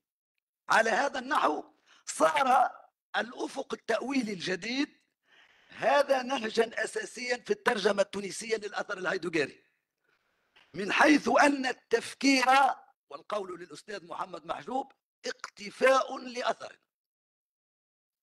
ومن حيث أنه ينصرف نحو استقراء خفاياه ومستغلقاته بفهم مستحدث لا يعود فيه النص الأصلي منقطعا عن فعالية المترجم وعنايته. وبالفعل لم يعد غرض المترجم العثور على المقابل اللغوي كما دأبت على ذلك الترجمات الكلاسيكية. بل انظروا هذه العبارة المترجم ماذا يبحث؟ عن تحصيل سي عبد السلام عن تحصيل المضاهي. يعني الكلمة الموجودة في النص الألماني علينا أن نستنفر عربيتنا أعطيني المضاهي لهذه العبارة. وأول تحدي خاضه مع الكلمة اللغز عند هايدغير هي كلمة دازايل. وتجرأ عليها الأستاذ محمود محمد محجوب بترجمتها بعبارة الموجد التي أصبحت تقليد رغم أن هناك محاولة سابقا للأستاذ محمد محجوب كانت مع الأستاذ عبد الرحمن بدوي عندما استعمل مفهوم الآنية. آه ولكن لم يكن لها رواج كبير إلى خارج الكتابات نتاع أستاذ بدوي ولكن الموجود الآن قد نجدها حتى لو وجدتها حتى في بعض الكتابات العربية. وقام بتبرير نجد في كتابات عديدة يبرر لنا وتبرير جميل لاستعماله لهذا المفهوم الموجود ديزاين اللي هايدوغير بيدو أوصى بعض المترجمين الفرنسيين لما تعذر الأمر على ترجمة هذا المصطلح بأن يتركوا الكلمة كما هي بل أوصى بعض المترجمين الإنجليز ومنهم مثلا آه، تلميذته جوان ستامبوخ بأن تحتفظ فقط بالمطة بين العبارة دا زاين دا زاين. هذا أقصى ما وربما لمبررات يحتفظ. إذا أريد أن أعطيكم بعض هذا المضاهي الذي يقترحه محمد محجوب. ومن ثم نجد في إحداث عبارة الموجد تزاين والعهد والخلوة لشتون من منذ منذ ثمانينيات القرن الماضي. أولى أمارات النهج التأويلي. هذا في ترجمة هايدوغير وهو لا يتفرد باقتراح مصطلحات جديدة. فحسب بل يفكر هذه المصطلحات في سياق العرض باتساق مدهش وفي خضم أو بعيدا عن ان شئنا الاستسهال المعمم الذي نجده في بعض ربما أحيانا الترجمات الأخرى. ونحن نستشعر من تهيب المترجم شيئا من تهيب هايدوغير نفسه من جسد أمر الترجمة وخطرها على النصوص العظيمة. على هذا الأساس تتحدد ماهية الترجمة في أفق نصوص هايدوغير بما هي ترجمة مفكرة تسعى إلى وراثة المعاني من الداخل ولكن في لغة أخرى. فالفيلسوف يقول محمد محجوب ليس إلا وهنا موضوع التهريب فالفيلسوف يقول محمد محجوب ليس إلا مترجما يرفض الرجوع بترجمته إلى الأصل المترجم وهو ليس إلا مؤولا يرفض العودة من تأويله إلى نصه الأصلي قبل التأويل هو مهرب لا يريد إرجاع ما هرب وهو واسطة لا تكشف عن وجهها الأصلي ما يكون الفيلسوف ساعتها. إنه هذا الذي يتقدم بلا وجه. ضمن هذا السياق إن شئنا سأمر إلى الحديث عن سريعا عن مقالي الذي يتعلق ب دونك إذا كان قرب مثل هذه المفاهيم في وقت مبكر. آه، الترجمة الجديدة للأستاذ محمد محجوب آه، تأويليات الحديثية دونك إذا آه، فقط ربما ملخص سريع لهذا النص هو لأحد النصوص المبكرة لهايدوغير وهو نصوص دروس الشباب آه، لسنة 1923 آه، فقط أنا عدت إلى هذا الدرس أولا لتجريب آه، إذا أو إن شئنا اختبار أو امتحان هذه الترجمة والتفاعل معها في إنطاق هايدوغير بالعربيه كما فعل الأستاذ محمد محجوب. وثانيا لأننا نعثر في داخلها على شيئين مهمين. وربما أستاذ أقف عند هذا أولا عن دلالة بكر للفينومنولوجيا دلالة جديدة أه؟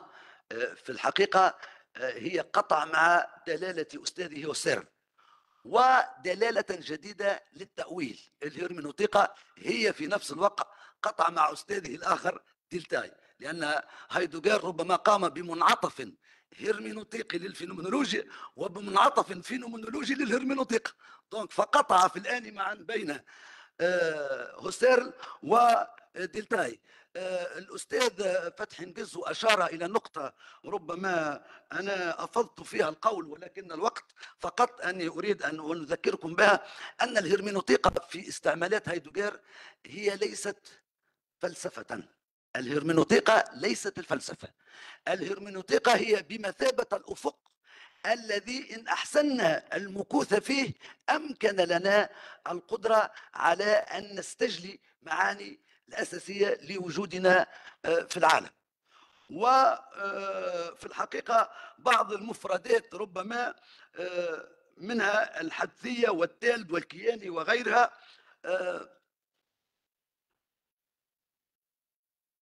ربما للتفاعل ما دام الحوار سيوجه الآن الأستاذ محمد محجوب ربما أختم بما قد أحاول أن أذكره به حتى يقول لنا شيئا في هذا الأمر وهو هذا الرهان آه، الذي يتحدث عنه آه، ما يسميه إيجاد سياق لجدل فلسفي عربي مغاربي.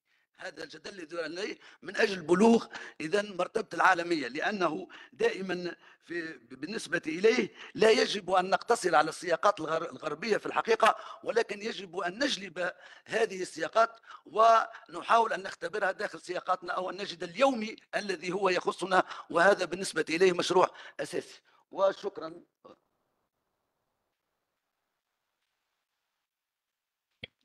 شكرا جزيلا لك. اذا يعني سأختصر آه، فقط سأعطي تعليقين. يعني آه، أمسكت نفسي عن التعليق على مسألة أن الهرمطيقه ليست فلسفة عندما الدكتور آه، فتحي انجزه وأنت ها أنت تكررها. مع العلم أنه بعد يومين لدي محاضرة سيكون عنوانها أن الهرمطيقه هي الفلسفة. ليست فقط فلسفة هي الفلسفة. لكن لن يكون هنا مجال يعني الحوار حول هذه المسألة. تماما. المسألة الثانية يعني هي مسألة تحدثت عن الدكتور محجوب بوصفه إيه، يعني ال- المترجم والمؤول يعني. لكن أنت تعلم يعني وحتى في في, في النص لديك أنت تعلم مع أنت أخذت مع بول ريكور أن الترجمة هي نموذج للفهم وللتأويل.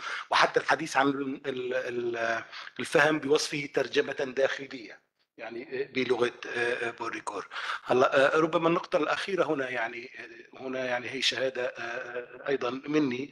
ال- ال- الدكتور محمد محجوب بعمله سواء التأويلي المباشر أو الترجمي هو يعني سعى كما فعل كانت أو كما سعى كانت.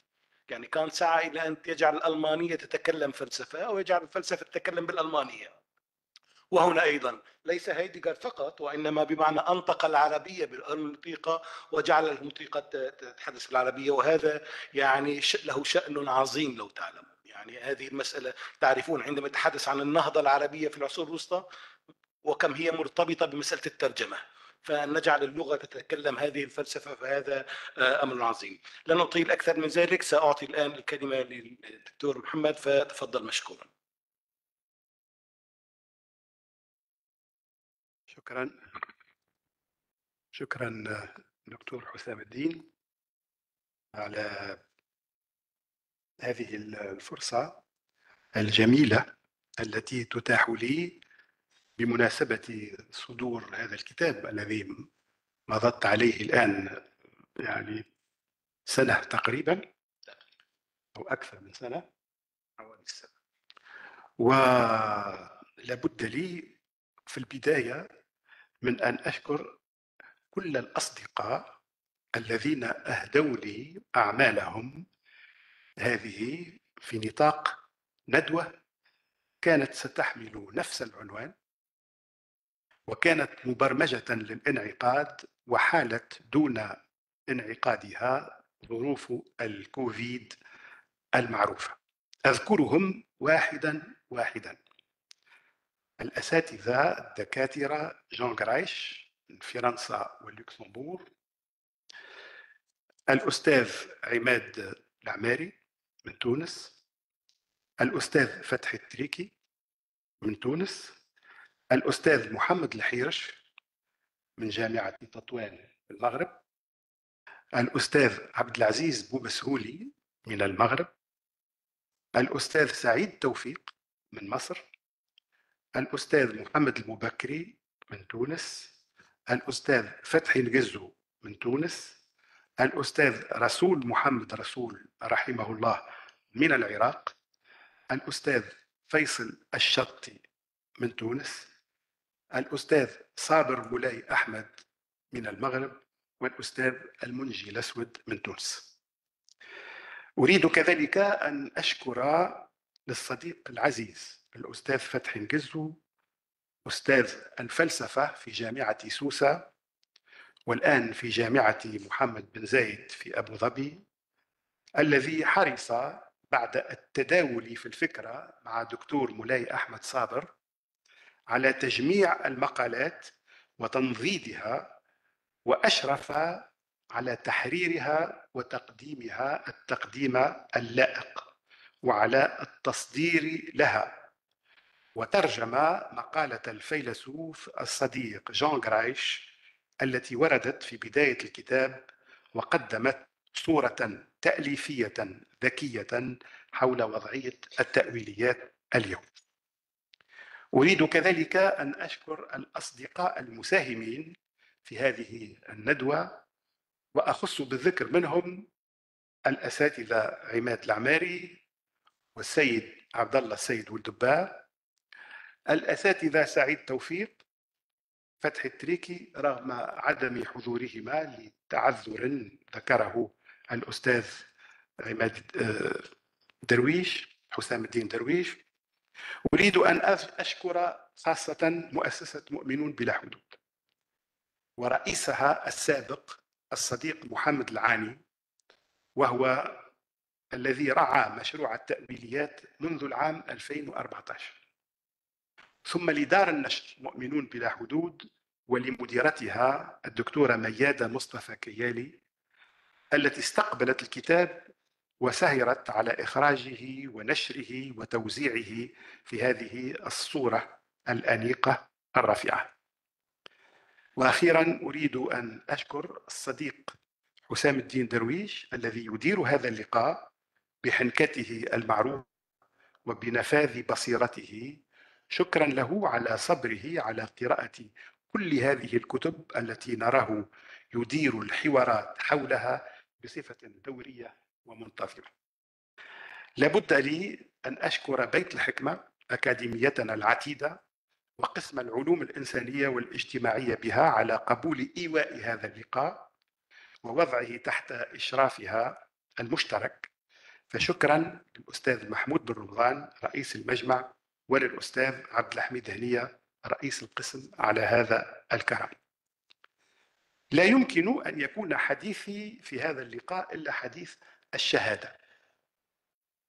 ولكني سأعرض عن تقديم شهادة ذاتية تتعلق مثلا بمراحل اهتمامي بالتأويليات أو بسياقات هذا الاهتمام وما قد يرتبط به من الأخبار. سأحاول عوضا من ذلك أن أقدم شهادة عن الوجوه التي بدا لي من خلالها أن التأويليات قد تمثل بداية أخرى للتفكير لا في السياق العربي المعاصر فقط وإنما كذلك في السياق العالمي وأنها لذلك تحتاج إلى أن تستأنف لنفسها بداية قد لا تكون مجرد جري على منهج وتطبيق لتقنيه سأختصر القول اذا إلى ثلاث ملاحظات ربما أمكننا أن نناقشها اليوم أو مستقبلا. الملاحظة الأولى. الكل يتحدث عن كونية التأويليات. L'universalité de l'herméneutique وعن طابعها الكلي. وهذا أمر من شأنه أن يطرح أسئلة عديدة لأن هذا الطابع الكلي قد يفرض على فن التأويل نوعا من هيمنة الأنموذج التي سرعان ما تلتحق بمنطق الحقيقة الملزم ضد منطق المعنى. من المفيد ها هنا التذكير بأن التأويليات لم تتكون في صيغتها الحديثة إلا بعد أن وسعت من مجال موضوعها من قراءة النص المقدس أو من تفسير النص المقدس إلى قراءة أي نص من النصوص. إننا نعين عند الفيلسوف الألماني فريدريش شلايرماخر ولادة هذا النمط الممتد من فن التأويل الذي أصبح لا يهتم بتقنيات فهم النصوص المقدسة فقط أو النصوص الأدبية وإنما يوسع التأويل إلى جميع أصناف الخطاب ماذا يعني ذلك؟ هو يعني وهذا أمر يهمنا نحن بشكل خاص لأننا في اختصام تأويلي مع النصوص المقدسة. منذ البداية ومع القرآن. منذ البداية هو يعني أن الكلام المقدس هو كلام يجري عليه بعد شلير ماخر إذن يجري عليه ما يجري على كل كلام عموما. إننا نرجع إلى شلير ماخر هذا التوسيع الموضوعي المتعلق بالموضوع. إذن والذي نتج عنه استنباط إشكالية جديدة لم تعد تتعلق بالحقيقة لم تعد تتعلق بمدلول النصوص وبمعايير تعيين ذلك المدلول وإنما باتت تتعلق ببنية فهم النصوص وأعني بهيئة الذات التي تقرأ وتتلقى المعنى أو الرسالة. كلنا يعرف كلنا أننا جرابة صافين كما يقول يعني عرب كلنا يعرف على الأقل نصي الغزالي قانون التأويل وابن رشد فصل المقام وكلنا يعرف أن هذين الفيلسوفين قد جعل التأويل أمرا موكولا في النهاية إلى ما يفهم من عادات لسان العرب في الكلام وهي عادات محددة عند ابن رشد تذكرونها في تعريف التأويل ومعنى التأويل وإخراج دلالة اللفظ من الدلالة الحقيقية إلى الدلالة المجازية من غير أن يخل في ذلك بعادة لسان العرب في التجوز من تسمية الشيء بسببه أو بلاحقه أو بمقارنه إلى آخره. إذا ما قد جعل التأويل أمرا موكولا في النهاية إلى ما يفهم من عادات لسان العرب في الكلام وهي عادات محددة عند ابن رشد. أظن خمسة أو ست عادات. ولكنها كثيرة لا تنحصر والعبارة للغزالي لا تنحصر عند الغزالي لا يمكن حصرها. لا يهمني الموقف التقليدي لترجيح رأي الغزالي على ابن رشد أو لترجيح رأي ابن رشد على الغزالي. وإنما يهمني أن كليهما قد أوكل معيار التأويل إلى عادة كلام العرب. إن تحكيم عادة الكلام واعتباره معيارا على المقصود من النص المقدس هو ما أخرج به. فكأنما يصبح التأويل ممكنا لأننا نمارسه يوميا في لعبة القصد والفهم اليومية. ابن رشد يعتبره ممكنا والغزالي لنفس السبب يعتبر التوقف فيه أسلم. ويقول ينتهي في نهاية الكتاب يقول أنا أعتبر أن التوقف عن التأويل أسلم لأنه يمكن أن يوقع يوقعنا في شبهات كثيرة. ولكننا نقفز على هذه البداية التي تؤسس قبل الأوان الإمكانية التداولية للتأويل. لنحيل مباشرة على التأسيس الحديث للتأويلية لدى شلايرباخر سؤالي الهرمينوتيقي بكل بساطة هو سؤال عن المستقبلات الممكنة للماضي. وهكذا أفهم شخصيا عبارة البدايات الأخرى نحو بدايات أخرى إن هذه الخصومة التي علقت استغلاق النص القرآني أو التباسه أو ازدواجية معناه أو مثنوية هذا المعنى كما سيقول الفيلسوف التونسي المنسي محجوب بن ميلاد التي علقت على كل هذا التي علقت كل هذا على حسم التداول اليومي للمدلولات إنما تمثل ابتداء آخر لم تتم مواصلته. وتوقف عند حد الغزالي وابن رشد. الغزالي اولا ثم ابن رشد وانتهى الأمر. في حين أنهما فتح من خلال هذه الإمكانية التداولية للتأويل التي لا تنحصر أختلف معك قليلا دكتور حسام لا تنحصر في الإشكالية ما بين المعنى المجازي والمعنى الحقيقي وإنما أهميتها متأتية من أن مجال التأويل الموضوع الذي نتأوله هو الكلام اليومي. إذا كل كلام يومي وليس فقط الكلام القرآني وهذا أمر هام جدا لأن شلاير ماخر أسس عليه إمكانية التأويليات الحديثة.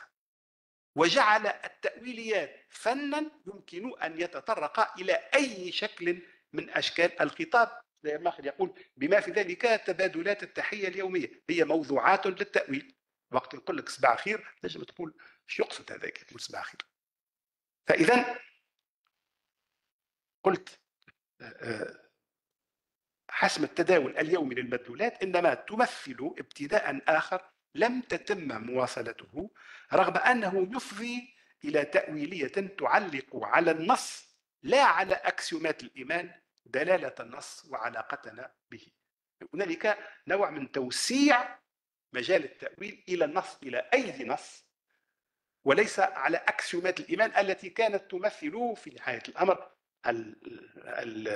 المزلاج الذي كان يحصر عملية التأويل. لا يمكنك أن تؤول إلا بالاستناد إلى ما هو معروف من قصد الكاتب إلى ما هو معروف من سياق الكتابة إلى ما هو معروف من إجماع الناس على المعنى. لا يمكنك أن تتأول إذا ليس هنالك إمكان للذاتية. عندما تحول الكلام إلى متداول لسان العرب في الكلام اليومي فإنك تفتح إمكانية أخرى. أنا أقول هذه الإمكانية لم يقلها ابن رشد.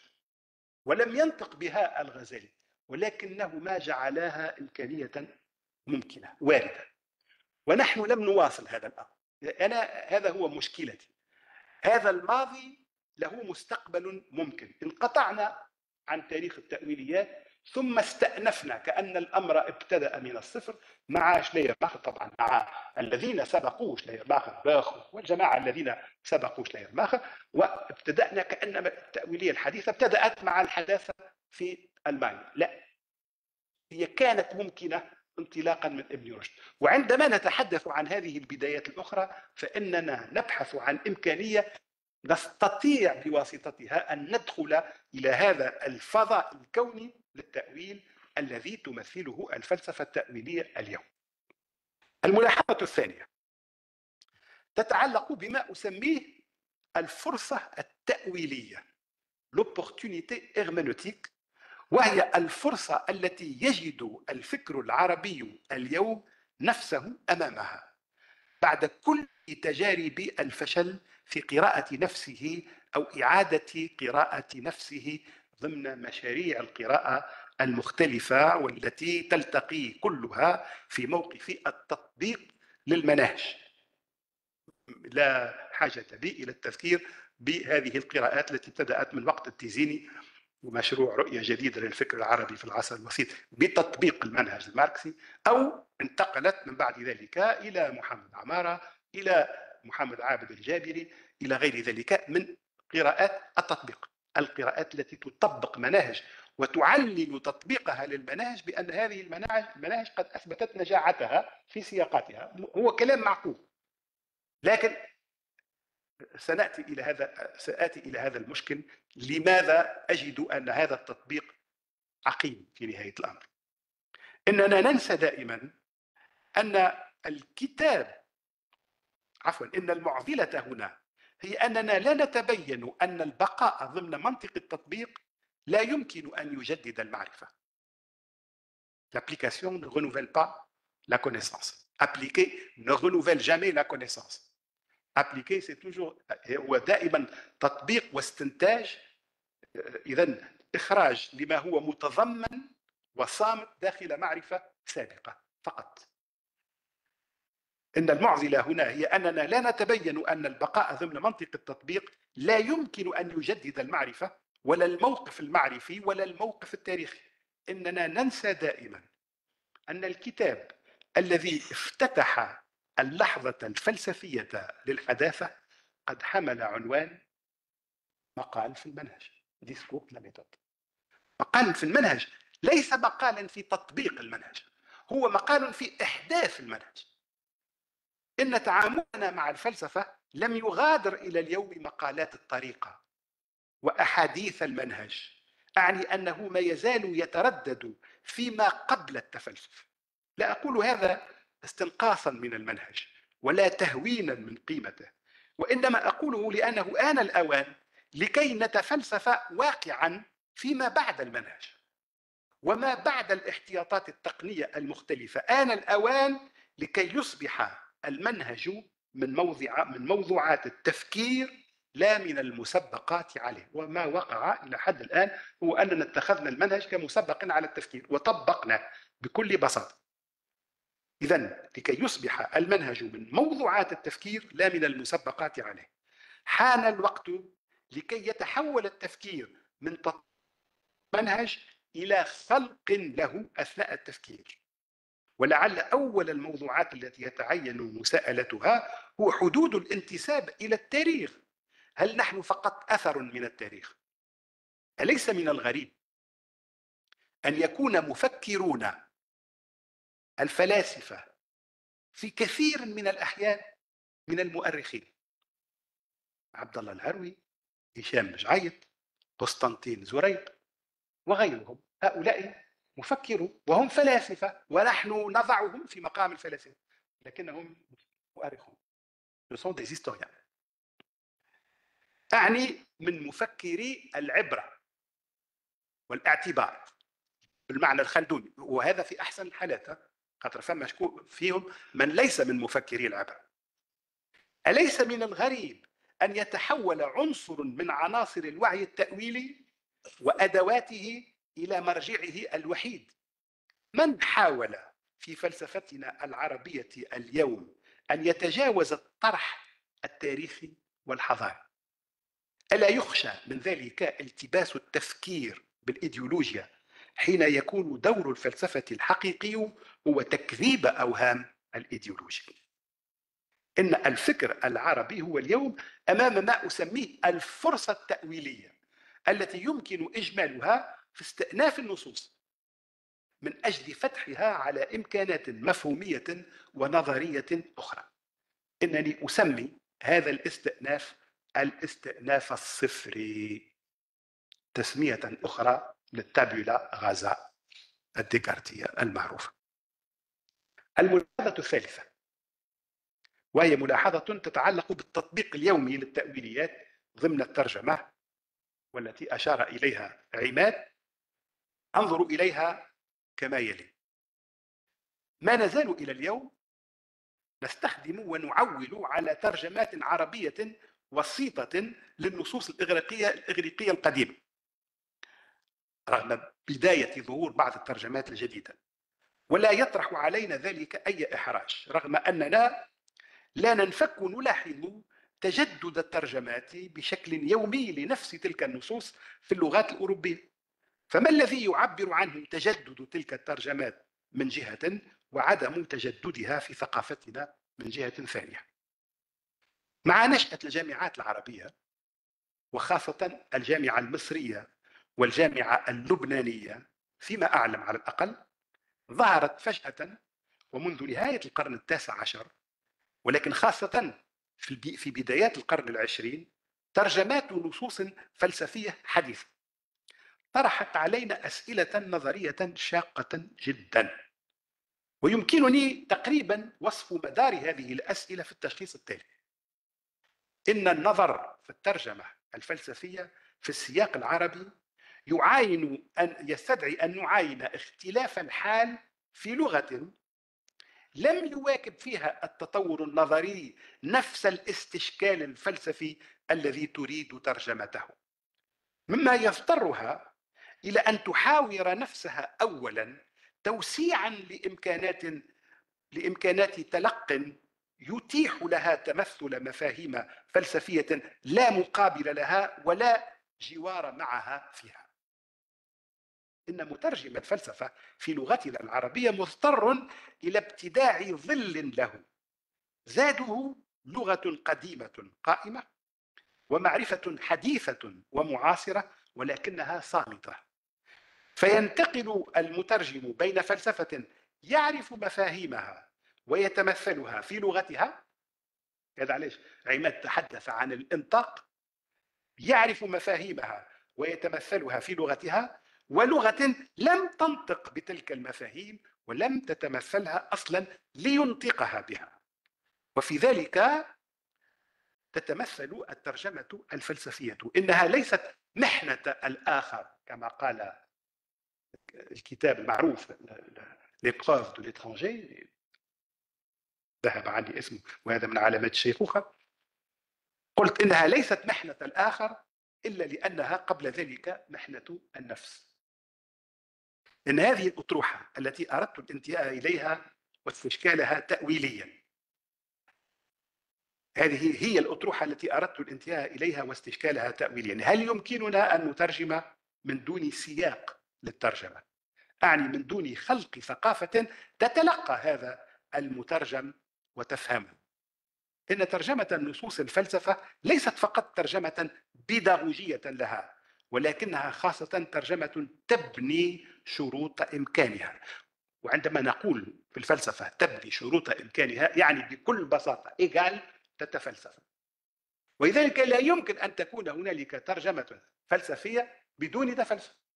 ولا يمكن أن يترجم النص الفلسفي من لم يكن فيلسوفا بحيث يمكن أن نكتب على أكاديمية الترجمة على أكاديمية ترجمة الفلسفة إن شئتم من لم يكن فيلسوفا فلا يدخل إليه كما قال أفلاطون عن المهندسين.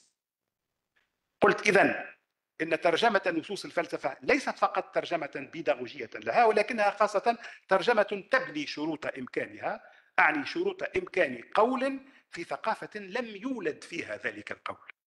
ولذلك على المترجم في السياق العربي أن يبتدع ظلا له يكلفه في كل مرة أن يكون مختبرا لتطور المفهوم في التاريخ يذكر بمراحل بمراحله ويفترض معرفة تلك المراحل شرطا لقول راهنه.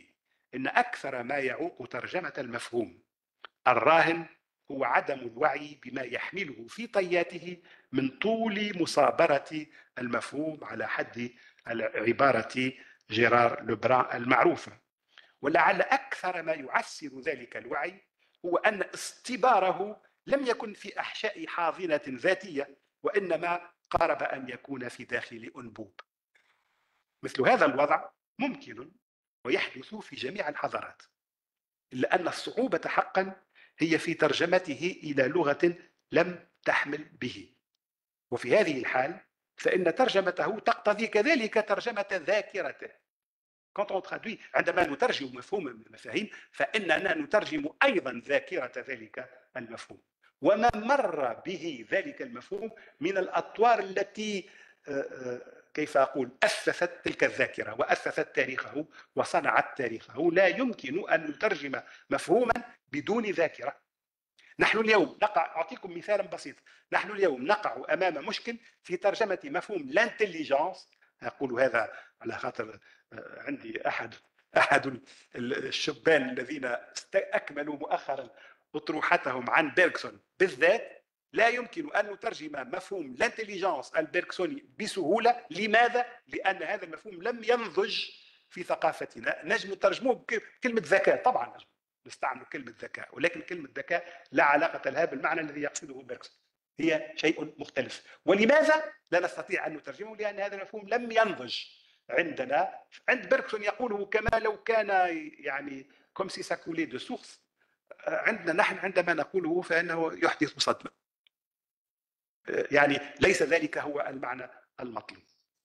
مثل هذا الوضع ممكن ويحدث بين جميع الحضارات. إلا أن الصعوبة حقا هي في ترجمته إلى لغة لم تحمل به. وفي هذه الحال فإن ترجمته تقتضي كذلك ترجمة ذاكرته. لا يتعلق الأمر باختراع ضرب من الكلمات المنتفخة بالذاكرة. فهذه الكلمات لا توجد. ويتعلق بخلق سياق يكون النطق فيه بتلك الكلمات نطقا بمعانيها واطلاعا بتاريخها أيضا. سيبقى رغم كل شيء هذا السؤال كيف يمكن خلق هذا السياق؟ وهذه مشكله تأويلية. سأجيب باقتضاب شديد على أن أتوسع ربما في ذلك في مقال قادم. إن خلق ذلك السياق هو المقصود بمحنة النفس. إنه عمل تأويلي لا نبحث فيه عن معنى أول بقدر ما نبحث ضمنه عما يمكن ضمن أنفسنا رفعه إلى مقام جديد من الأولوية. فالأولوية ليست شيئا سابقا إنها شيء نحدثه الأولوية نتحدث دائما عن الأول كما لو كان دائما سابقا. c'est le préjugé هذا هو الحكم المسبق الذي يصاحب كل حديث عن الأول. الأول هو الأول الذي سبق. في حين أن الأول هو ما نحدثه على أنه الأول هو المحدث. هو الذي نحدثه. هو إذن فهو يتضارب تماما مع مفهوم الأول الذي تعودناه لأن يعني مفهوم الأول الذي تعودناه هو أزلي ولا يمكن أن يداخله الزمن. عندما نقول الأول هو ما نحدثه فإننا ندخله ضمن الزمن. قلت إذن رفعه إلى مقام جديد من الأولوية أعني الراهنية راهنية أنفسنا التي وحدها تقدر على قراءة ما يفد عليها. شكرا لكم.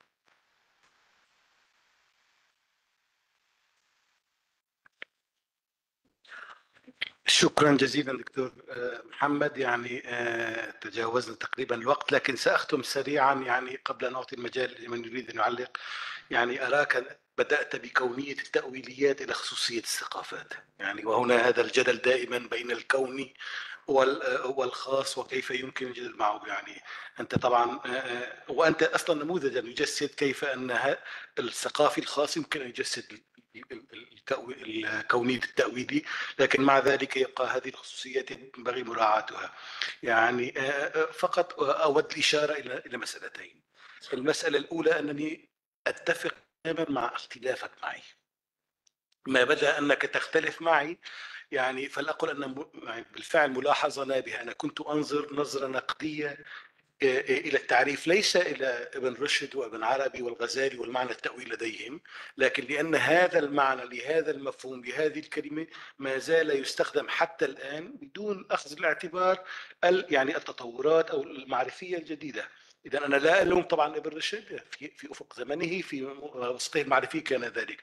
لكنني لم أنتبه إلى إمكانية هذا الاستئناف هذا يعني أنا ما اختلفت معي هنا الإضافة هنا أتفق معها تماما وبالفعل يمكن أن تفتح افقا جديدا. كيف يمكن أن نجعل من المجال التداولي الذي يتجاوز هذه الزوات هذا الذي يريد أن يتحكم بالتأويل ويفرض هذه الرؤية وتلك لأن يكون بمعنى ما معيارا لكي نتابع من خلاله وهذه يعني آه، آه، فكرة مهمة آه، تماما. هلأ في النقطة الثانية التي تحدثت فيها عن الفرصة التأويلية والاستئناف يعني رأيت من بعيد شبح استعادة قدمر في نقده للمنهج. بمعنى أن المنهج يفترض ما النقد هنا ببساطة؟ المنهج. أن المنهج يفترض مسبقا النتائج التي يمكن أن تتمخض عنه.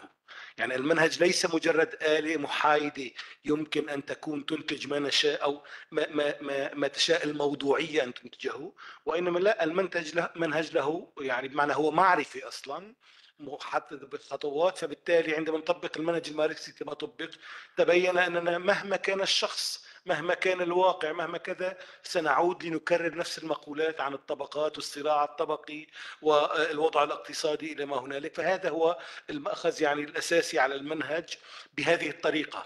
يعني أنا نميز بين المنهج والمنهجية. يعني المنهجية دائما مطلوبة لكن المنهج بهذا المعنى. ففي رأيك يعني والتفلسف ما بعد المنهج وهنا أقرأ ما بعد بالطريقة أيضا التأويلية. الما بعد لا يجب ما قبله. يعني لا يقضي عليه لا يلغيه بالمعنى الكامل وإنما يتجاوز كما قلنا بالمعنى الهيجلي بمعنى يتضمن ويسبح في إطار أوسع في إطار أرحب. يعني يفتح هنا التجاوز لفتح آفاق المستقبل بدل من الانحباس في الأفق الماضي. المسألة الثالثة والأخيرة ويعني لست متأكدا أراها فكرة غير هرمونوطيقية بمعنى ما وأنا ذكرتها. الاستئناف الصفري. تعرف يعني أن المعرفة أو الرؤية في الهرمونوطيقة ليس هناك صفر لنبدأ به. ليس هناك نقطة نقول هذه صفر ومن ثم سنبدأ حاليا. دائما هناك ماض. دائما هناك فهم مسبق ورؤية مسبقة تاريخ تراث ولا نبدأ من الصفر. فهذه بدت لي الاستئناف الصفري يعني آه، فكرة فلأقل أنني لدي فضول أكبر لأتعرف عليها في ال- ال- ال- القادم. ومسألة البعد عن الأيديولوجيا يعني هنا الفكرة الأيديولوجيا وهو هنا في هذا السياق يمكن أن أفهم. إذا الاستئناف الصفري بمعنى البعد عن الأيديولوجيا بوصفها تفكيرا مانويا يقسم العالم إلى أبيض وأسود وصح وخطأ بدون الفكر يقع في هذه المنطقة الرمادية. ليس هناك بمعنى حق مطلق ولا باطل مطلق. فالاستئناف الصفري بعيدا عن هذه الرؤية المانوية القطبية المثنوية ربما أفهمها. أما بعيدا عن أي تحيز بالمعنى المنطقي ربما هنا يعني بحاجة إلى توضيح أكبر. هو كلامك صحيح في أن لا يوجد استئناف صفري ولكن آه، ينبغي أن نضع أمامنا كما يقول الفينومينولوجيون قدوية ديكارت. وهذه القدوية تعطينا أن هذا الاستئناف الصفري وهذه البداية الصفرية هي صفرية منهجيا. يعني لم يلغي ديكارت المعارف التي قرر أن يس- يستأنفها من الصفر. هي كانت موجودة ولا يستطيع لا هو ولا غيره أن يلغيها ولكنه منهجيا يقرر أن يبتدئ من الصفر. donc c'est c'est c'est une tabula rasa, rasa de méthode. تماما وليس tabula rasa يعني لأنها فعلا tabula rasa لكننا محتاجون في التفكير إلى أن نبني هذه الأشكال وإلى أن نبني هذه كيف أقول الأوضاع التي ننطلق منها منهجيا علينا أن ننطلق هذه هذا هو المقصود تماما لكن هي تبدو يعني فلأقل أنها مفارقة مفارقة منتجة. استئناف هي تكملة لما سبق. إذا ليس لا لا في استئناف المعنى الآخر الاستئناف تعرف أنها تعني شيئين تعني آه. تكملة لما سبق. donc c'est une reprise, un recommencement وتعني أيضا le commencement أنا أستعمل هذه الكلمة لأنها ambigu في العربية. وأستعملها هذه وذاك هو الفيلسوف يلوج كان عن امبيغوتي وهذه الكلمات التي لديها لها أكثر من جانب وأكثر معنى لها مكانة خاصة لدينا. إذا آه، يعني نحن آه، تجاوزنا الساعتين لكن إذا ربما هناك تعليقات أو كلمات سريعة ربما نعطي المجال قبل آه، أن نختم. في مجال. من على كل أنا أريد أن أقول كلمة. تفضل. وقال إنني أتفق مع اختلافك. لن تسمعوا هذه الكلمة إلا من تأويليين. هذه كلمة لا تقال إلا ما بين تأويليين. اتفق مع اختلاف تماما. آه، آه، من يريد أن آه، لديه أي تعليق أو سؤال دكتور محمد أو ل- آه، آه، تفضل. سي- سيعطيك المايك ميكروفون شكرا. الأستاذ بالله ال- ال- عجبتني ال- السياق الصفري. ما ينجمش يكون القطيعة الإبستمولوجية لأن هي قطيعة ولكن مختلفة. مش قطيعة بالمعنى المطلق كما يقول باشلار وطبقها الجابري وفوكو ألتيسير وكل. جست حبيت في هذا عجبتني الصيغة ولكن هل تكون أقرب للقطيعة هي الصيغة في نفس الوقت هي تحيه لما يقع من المسافات الصفرية التي نعرفها. لو كان بالعاني استعملتها يعني حتى أشير آه، في غمزة يعني إلى إلى ما يقع على أرضنا المسلوبة. ولكن آه، صحيح القطيعة الابستمولوجيه شكل من أشكال الاستئناف الصفري لأن اللحظة التي تقع وهذا أمر يب- يبينه باشلار بكل وضوح هذه اللحظة التي تقع فيها هذه القطيعة الابستمولوجيه هي لحظة تتزلزل فيها المعارف تماما كأنما نبتدئ من الصفر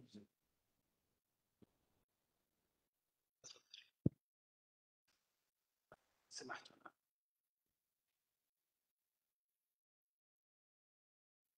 أولا آه، أهنئك على آه، هذا التقديم وهذا الكتاب الجماعي. آه، أشكر كل المشاركين فيه. لأهمية الموضوع. حقيقة عندما قلت الأستاذ محمد إن التأويلية والتأويليات ليست حكرا على مجال أو اختصاص بعينه بل إننا في حاجة آه، إلى التأويل في سائر الخطابات الخطاب الأدبي والديني والفني إلى آخره. اذا أنا آه، أريد أن أؤكد آه، أمرين. أمرين يتصلان بالتأويل. التأويل فعل وفن يعني وردت في كلمتك كلمة الفن. آه، هو فعل. يعني فعل يتصل بالتفكير. ولكن أيضا آه، آه، هو فن يتصل بهذه الإمكانات المتعددة أو المعارف الموسوعية التي يملكها المؤول. لكن ينبغي ألا ننفي دور المتلقي. وهنا نعود إلى أمبرتو إيكو. أمبرتو إيكو الذي كتب Lector in fabula يتحدث عن هذا التعاضد التأويلي. يعني في ما قدمته يعني أجد تأكيد دائما على المؤول. أو مدرسة كونستانس. على المؤول وعلى الفهم الفهم لكن أيضا لا يمكن أن يتحقق هذا الفعل التأويلي إلا بهذه العلاقة التعاضدية التشاركية ننسى الكلمة الشهيرة لأمبرتو إيكو عندما يقول إن النص أنا كسولة هذه نقطة. النقطة الثانية ألا نخشى من فائض التأويل أو التأويلات المتعددة التي يمكن أن تأخذنا إلى متاهات. أنا أتحدث عن النص الأدبي وغير النصوص الأدبية. فعندما إذا ننتشي بهذه التأويلات المتعددة قد نغيب المعاني الأخرى العميقة والمعاني الثواني ومعاني المعاني على حد عبارة الجرجاني فقط. شكرا. معك ألف حق التأويل. يعني كثرة التأويلات كثرة التأويلات لا تعني اعتباطية التأويلات ولا تعني أن لكل شخص حق في أن يؤول كما يريد. لا ليس هذا هو المقصود. ولكن يعني نفي هذه الاعتباطية لا يعني وحدة التأويل. هنالك كثرة تأويلية رغم كل شيء لكن هذه الكثرة مشروطة بمعرفة السياق بالمعارف التاريخية بال... يعني كل ما يتعلق بالنص في نهاية الأمر. ولذلك هنالك اتجاه كامل في التأويليات يتعلق بربط التأويليات بعلوم النص بالمعارف العلمية المتعلقة بالنص والتي هي كثيرة أيضا. لا طبعا أنا لا أدافع عن الاعتباطية في التأويل. يعني فقط ربما هنا إشارة سريعة لأن أمبرتو إيكو نفسه يعني هو ناس كما ينوس معظم المنظرون المنظرين في هذه المسألة. عندما كتب العمل المفتوح لوف أوفير من بداية إذا لا يؤكد إذا انفتاح العالم للعمل أو العمل على تأويلات لا متناهية بمعنى ما من حيث المبدأ. لكنه بعد ذلك اضطر إلى أن يكتب حدود التأويل. يعني إذا هو نفس الشخص أو نفس الباحث أو نفس المنظر الذي أكد انفتاح العمل على ما لا نهاية له من التأويلات اضطر أن يقول إذا بين الانفتاح اللامتناهي هناك أيضا حدود بدل قصد المؤلف يعني غالبا الشرك الأكبر الذي يقع فيه يعني هذا التحويل المسألة التأويلية إلى نفسانية. نريد أن نعرف ماذا دا في ذهن المؤلف أو كذا لكن هنا هنا تحدث عن قصد النص. يعني وبهذا يعني هربنا من أو تجاوزنا هذا المعنى النفساني. إذا آه، إذا كان هناك من آه، آه، يريد أن يعلق أو يضيف قبل أن نختم لأن فعلا تجاوزنا الوقت أو ما هو متفق عليه. ليس عليهم لن لن نطيل أكثر من ذلك. طيب شكرا جزيلا لكم. شكرا للدكتور محمد محجوب على هذه الفرصة. وشكرا لبيت الحكمة على هذه الاستضافة.